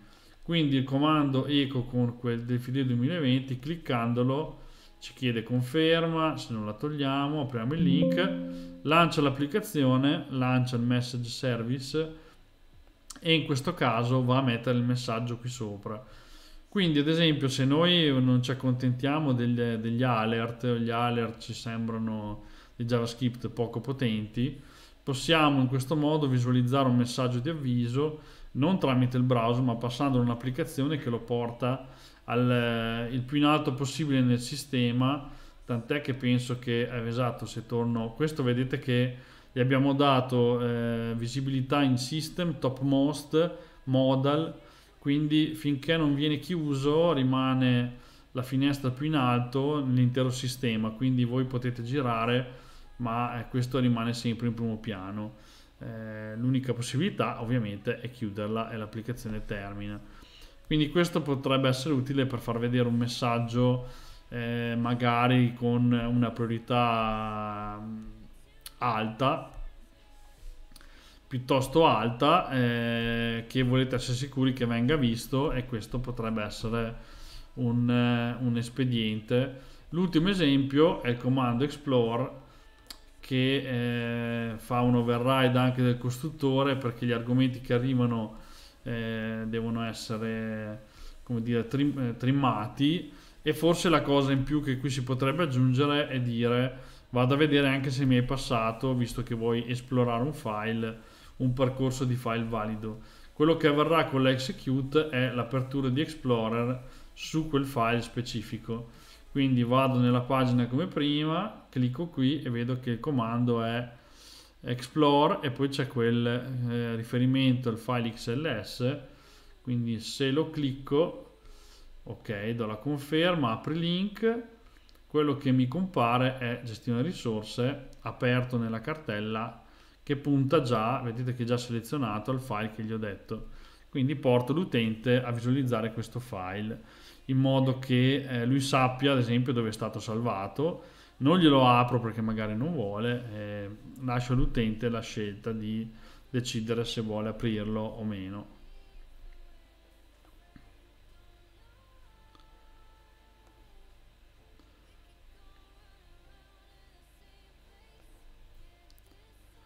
Allora guardiamo un attimo. Un'altra cosa di cui potremmo parlare di cui potremmo parlare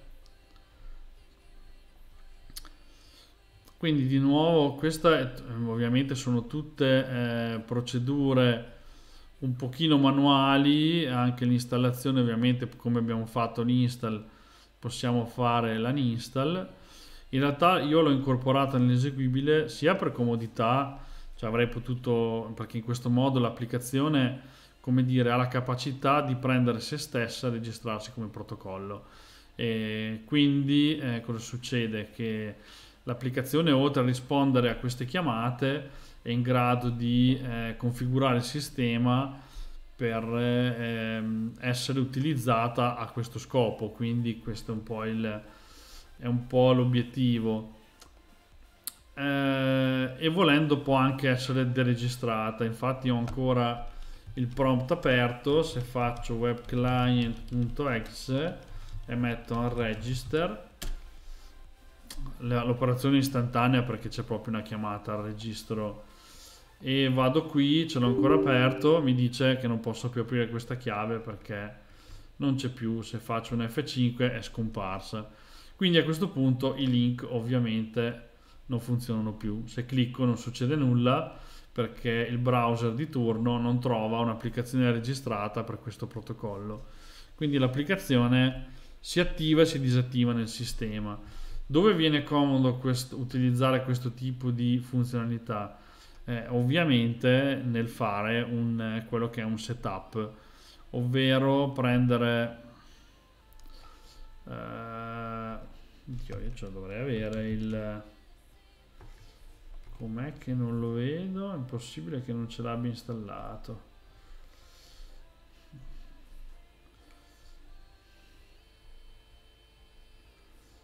è curiosa questa cosa. Non ce l'ho installato però vabbè lo possiamo visualizzare con un visualizzatore. Adesso provo ad aprirlo con un editor di testo o anche in code così ce l'abbiamo già qui. Search marketplace cavolo in Visual, in eh, Visual Studio Code c'è il supporto anche per questo tipo di file fantastico direi è perfetto perché così almeno ce lo colora un po'. Cosa abbiamo qui?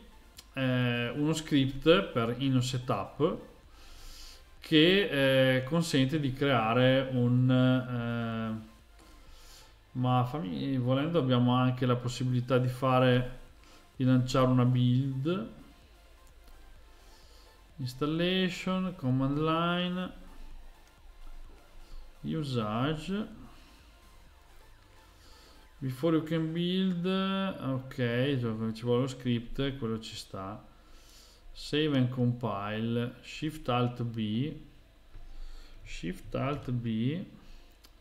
Dubito che riuscirà però a fare la compilazione perché senza come dire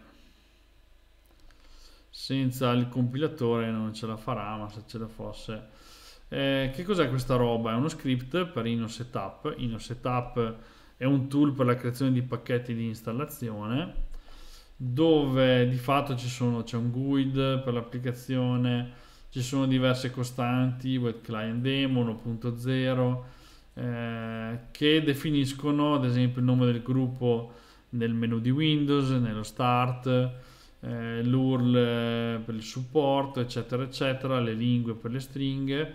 Quindi diciamo avanti, avanti, avanti, quello che va a, inst- quello che va a copiare su disco nella destinazione eh, scelta dall'utente è il webclient.exe, ovvero prende l'eseguibile, lo mette nel pacchetto e quando io eseguo questo setup mi chiederà dove installarlo, mi proporrà come eh, programma di default la cartella di program file e una sottocartella dove io voglio mettere l'exe. Nel momento in cui eh, termino l'installazione ho questo run e uninstall run, questo run sta a indicare operazioni che vanno eseguite al termine dell'installazione. E che cos'ho? Ho cartella dell'applicazione web client exe con parametro register ovvero scrivo come messaggio di stato che sto registrando il client per eseguire i comandi della, del, della pagina web. Eh, perché ne approfitto? Cioè mh, non ho bisogno di eh, creare una struttura particolare nella mia installazione per ricordarmi le chiavi ma ho tutto dentro l'applicazione. Quindi se per caso un'installazione non, vado, non va a buon fine o non registro il protocollo, viene deregistrato e devo rifarlo, se anche non eseguo il setup mi basta lanciare install, l'applicazione con diritti amministrativi, lanciare install o register, scusate, e so che in questo caso l'applicazione va a scrivere le informazioni nel registro. Eh, nel caso di unregister le va di fatto a, a rimuovere, quindi questo è un po', è un po quanto nel setup ne approfitto, cioè una volta che ho copiato l'ex lo vado anche a eseguire con register perché generalmente il setup, anzi non generalmente ma praticamente sempre, soprattutto se dobbiamo scrivere in certe cartelle, ma io qui non so se l'ho forzato ma c'è anche possibilità di chiederlo espressamente, di girare con diritti amministrativi, girando appunto con diritti più elevati il setup può andare a invocare l'applicazione con register e l'operazione va a buon fine perché il setup ovviamente ha eh, i diritti per poter eh, eseguire questa applicazione e scrivere nel registro. La cosa carina è che c'è anche un install run, ovvero prima se faccio un uninstall, prima di rimuovere l'applicazione, questa viene di nuovo invocata con parametro unregister in modo da andare a togliere quell'associazione dal registro perché poi i file vengono ovviamente cancellati. Lanciando un build di questo script, ovviamente eh, quello che otteniamo è un file, eh, un file exe che fa da installazione, copia questo client, ci chiede dove copiarlo, copia il client, lo lancia e lo registra e quindi a quel punto il client è pronto a ricevere le richieste che arrivano dal browser nel formato del protocollo che abbiamo visto, abbiamo visto prima e quindi di fatto rendiamo operativo tutto questo eh, simpatico eh, siparietto, eh, questo tool che gestisce, fa operazioni invece del, del, browser.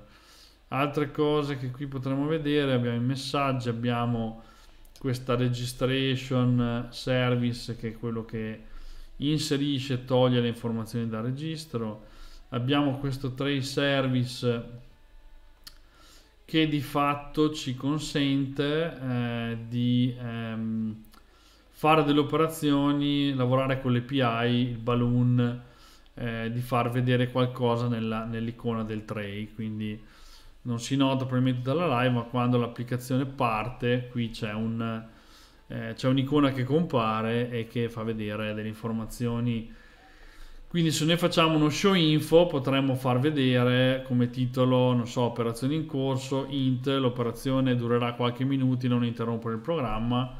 Invece della message box potremmo usare questo tray service per fare sì che, eh, come dire, eh, invece che con dei messaggi a cui dobbiamo dare ok, la nostra applicazione comunichi tramite la tray delle notifiche con l'assistente delle notifiche. In questo modo diventa ancora più discreto, ovvero magari sta facendo un lavoro, ci dice che ha iniziato e che ha finito, ma non sta a richiedere degli ok o dei feedback o darci messaggi che stanno, eh, come dire, in primo piano nella maniera più assoluta e quindi diventa Mm, chiaramente meno, meno, invasivo rispetto al, a, a, all'uso della message box come soluzione e quindi potremmo avere un browser che ad esempio gestisce anche una tray icon perché se diamo tutti i diritti e accettiamo che il browser eh, non ci chieda conferme a quel punto quando clicchiamo la, la, l'esecuzione di questo client è istantanea. Essendo tra l'altro poi un'applicazione nativa fatta in Delphi che utilizza delle API eh, senza runtime e altre cose, cioè la velocità è praticamente è massima, l'integrazione è come se eh, fosse quasi parte del browser o parte dell'applicazione web, cioè diventa perfettamente integrata, integrata nel, nel sistema. Abbiamo l'esecutore dei comandi, il gestore dei parametri di input, una pagina di test che è quella che vedevamo prima con l'anteprima dei link per andare a vedere in poche parole il um, eh, come dire per andare a, a, scrivere i link provare a testare i link ci sono stringhe di risorse ci sono i comandi ci sono variabili globali e la classe base dei comandi e qui praticamente non c'è nient'altro. Cioè, come abbiamo visto nel primo esempio, quello della form che faceva vedere i parametri, eh, in realtà l'approccio è molto semplice, ovvero mettiamo le informazioni nel registro con l'ex segnaposto del parametro e a quel punto quando usiamo quel nome di protocollo nei link il browser invoca la nostra applicazione con una conferma che possiamo disabilitare e ci passa tutto ciò che segue nella stringa. Se noi a quella stringa iniziamo a dare una struttura e ci inventiamo un significato, possiamo costruire, come abbiamo visto qui, una architettura che è espandibile dove noi possiamo creare un'applicazione che faccia diverse cose. È chiaro che potremmo ad esempio ricevere un URL e integrare qui delle chiamate REST, eh, potremmo integrare chiamate a un database eh, fare un login, magari eseguire delle operazioni prendendo il token direttamente dalla pagina web. Eh, potremmo, cioè è un'applicazione che è un client a tutti gli effetti, è un'applicazione Windows nativa, può fare quello che vuole, può configurare il sistema, magari noi abbiamo, non so, una pagina web con un configuratore, eh, scegliamo delle opzioni e da qualche parte ci scarichiamo un tool di accompagnamento dove nel momento in cui abbiamo fatto tutte le nostre scelte schiacciando un pulsante, le scelte invece che essere inviate dal server arrivano su un client che non so, ci fa vedere qualcosa di grafico, ci fa ehm, come dire, ci fa eh, lavorare a stretto contatto col sistema operativo realizzando cose che magari nella pagina web non sono possibili o magari è difficile implementare perché non abbiamo a disposizione questi componenti, questo approccio RAD nello sviluppo di, di, un'applicazione Windows che ovviamente è molto più rapida rispetto a quella di un client, di un client tradizionale. Quindi questo è un po' il, il principio. L'idea di questo esempio è quello di riprenderlo, l'ho ripescato perché, come dire, l'idea è anche quello di eh, cambiamo videata, così tanto abbiamo pressoché finito. Eh, l'idea è quello magari di eh, incapsularlo in una sorta di, di, libreria affinché, come dire, ci si riesca a fare un, un, um, una, un'infrastruttura che è importata, usata come dipendenza all'interno di un'applicazione, eh, consente di sviluppare il proprio client web.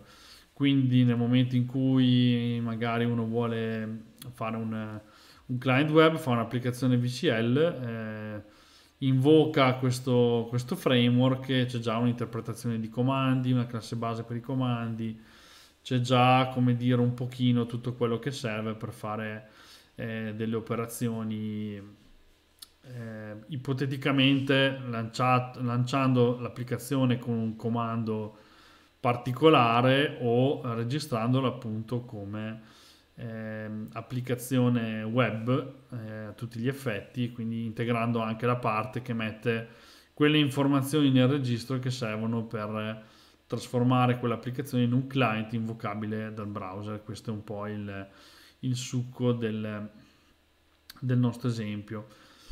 Ok, direi che l'esempio l'abbiamo visto, è chiaro che ci sarebbe molto da dire, era giusto per, per dare un'idea, ovvero in certi casi eh, se si capita di, avere quest- mh, mm, capita di avere questa necessità, questa può essere una soluzione molto, molto veloce per eh, non labbiccarsi con JavaScript su cose che non sono possibili, ma magari dare quella cosa al cliente che con un setup molto veloce, con una cosa molto snella poco invasiva, riesce a dare quel quid in più all'applicazione web che di fatto la completa. È chiaro che senza questa applicazione installata, quindi tutti gli utenti dovranno ovviamente mettersela e attivarla se vogliono usufruire delle funzionalità.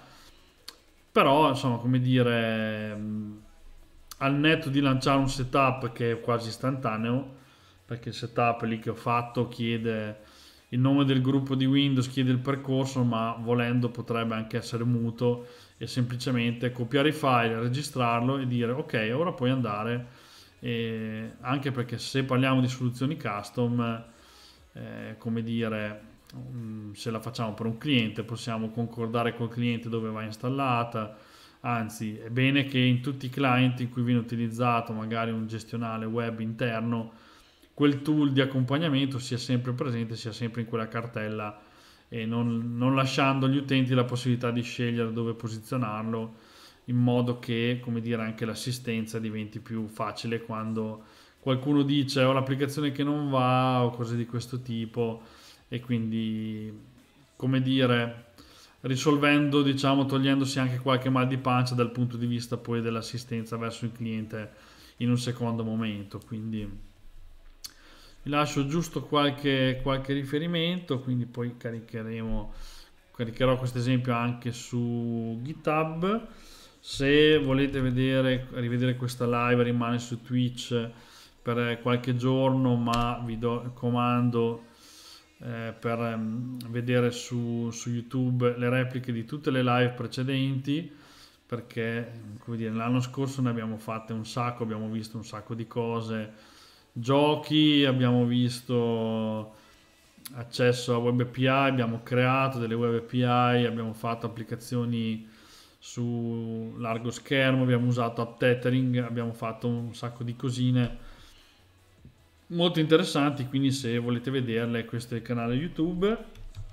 Se invece, poi magari ve lo scrive Streamlabs, ma volete rimanere aggiornati sulle live ehm, questa e quelle future c'è il canale Telegram dove eh, di fatto ricevete solo gli aggiornamenti, quindi solo un post a settimana o quando c'è la live che dice eh, di cosa si parlerà e quindi se come dire non seguite tipicamente i social lì trovate un po' tutte le informazioni eh, per vedere mh, per sapere di cosa si parlerà e se si parlerà soprattutto di qualcosa perché a volte la salto, purtroppo non ci riesco e quindi cerco di, di fare un po' come, come si può.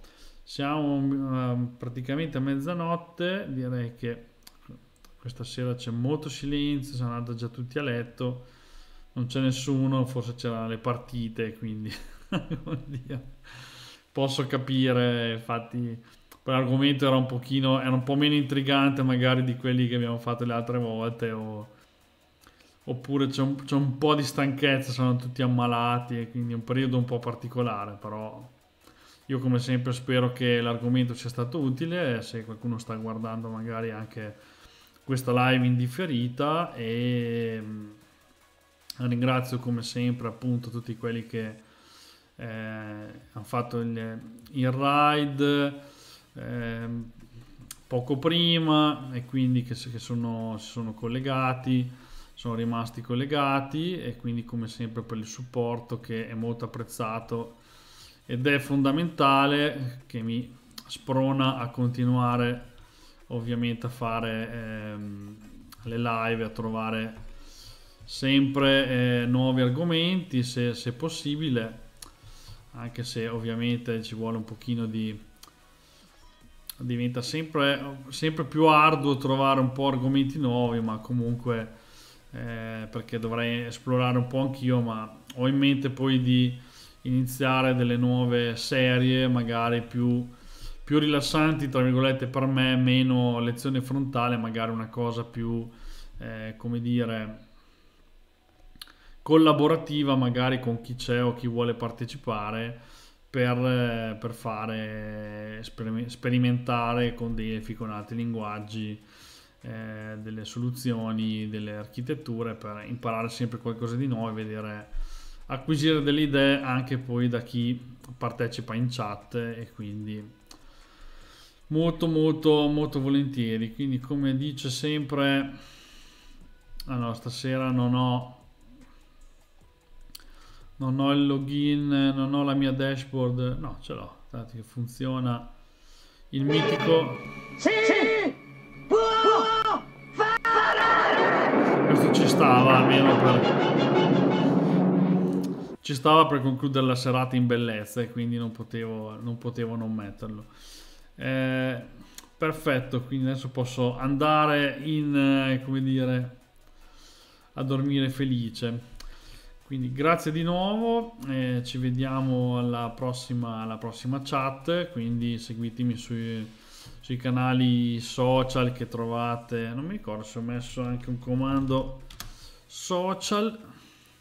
Puoi trovare tutti i miei profili social qui bah, sono stato bravo ci ho messo anche i comandi quindi a quel link che trovate nella chat Linktree potete trovare tutte oppure sul, sulle info del canale tutti i link canali social. Così eh, lasciate anche qualche commento o mi raccomando proponetemi anche se vi va delle idee perché molto volentieri io da, da altre live, da altre esperienze prendo sempre volentieri spunto per fare sperimentare cose nuove in modo da studiarmi qualcosa io e poi da riproporre per divertirci divertirci assieme pro, programmando come si suol dire eh, grazie di nuovo per eh, la partecipazione e, e vi saluto eh, vi do la buonanotte e vi do appuntamento alla prossima live. Ciao a tutti e alla prossima. Ciao ciao.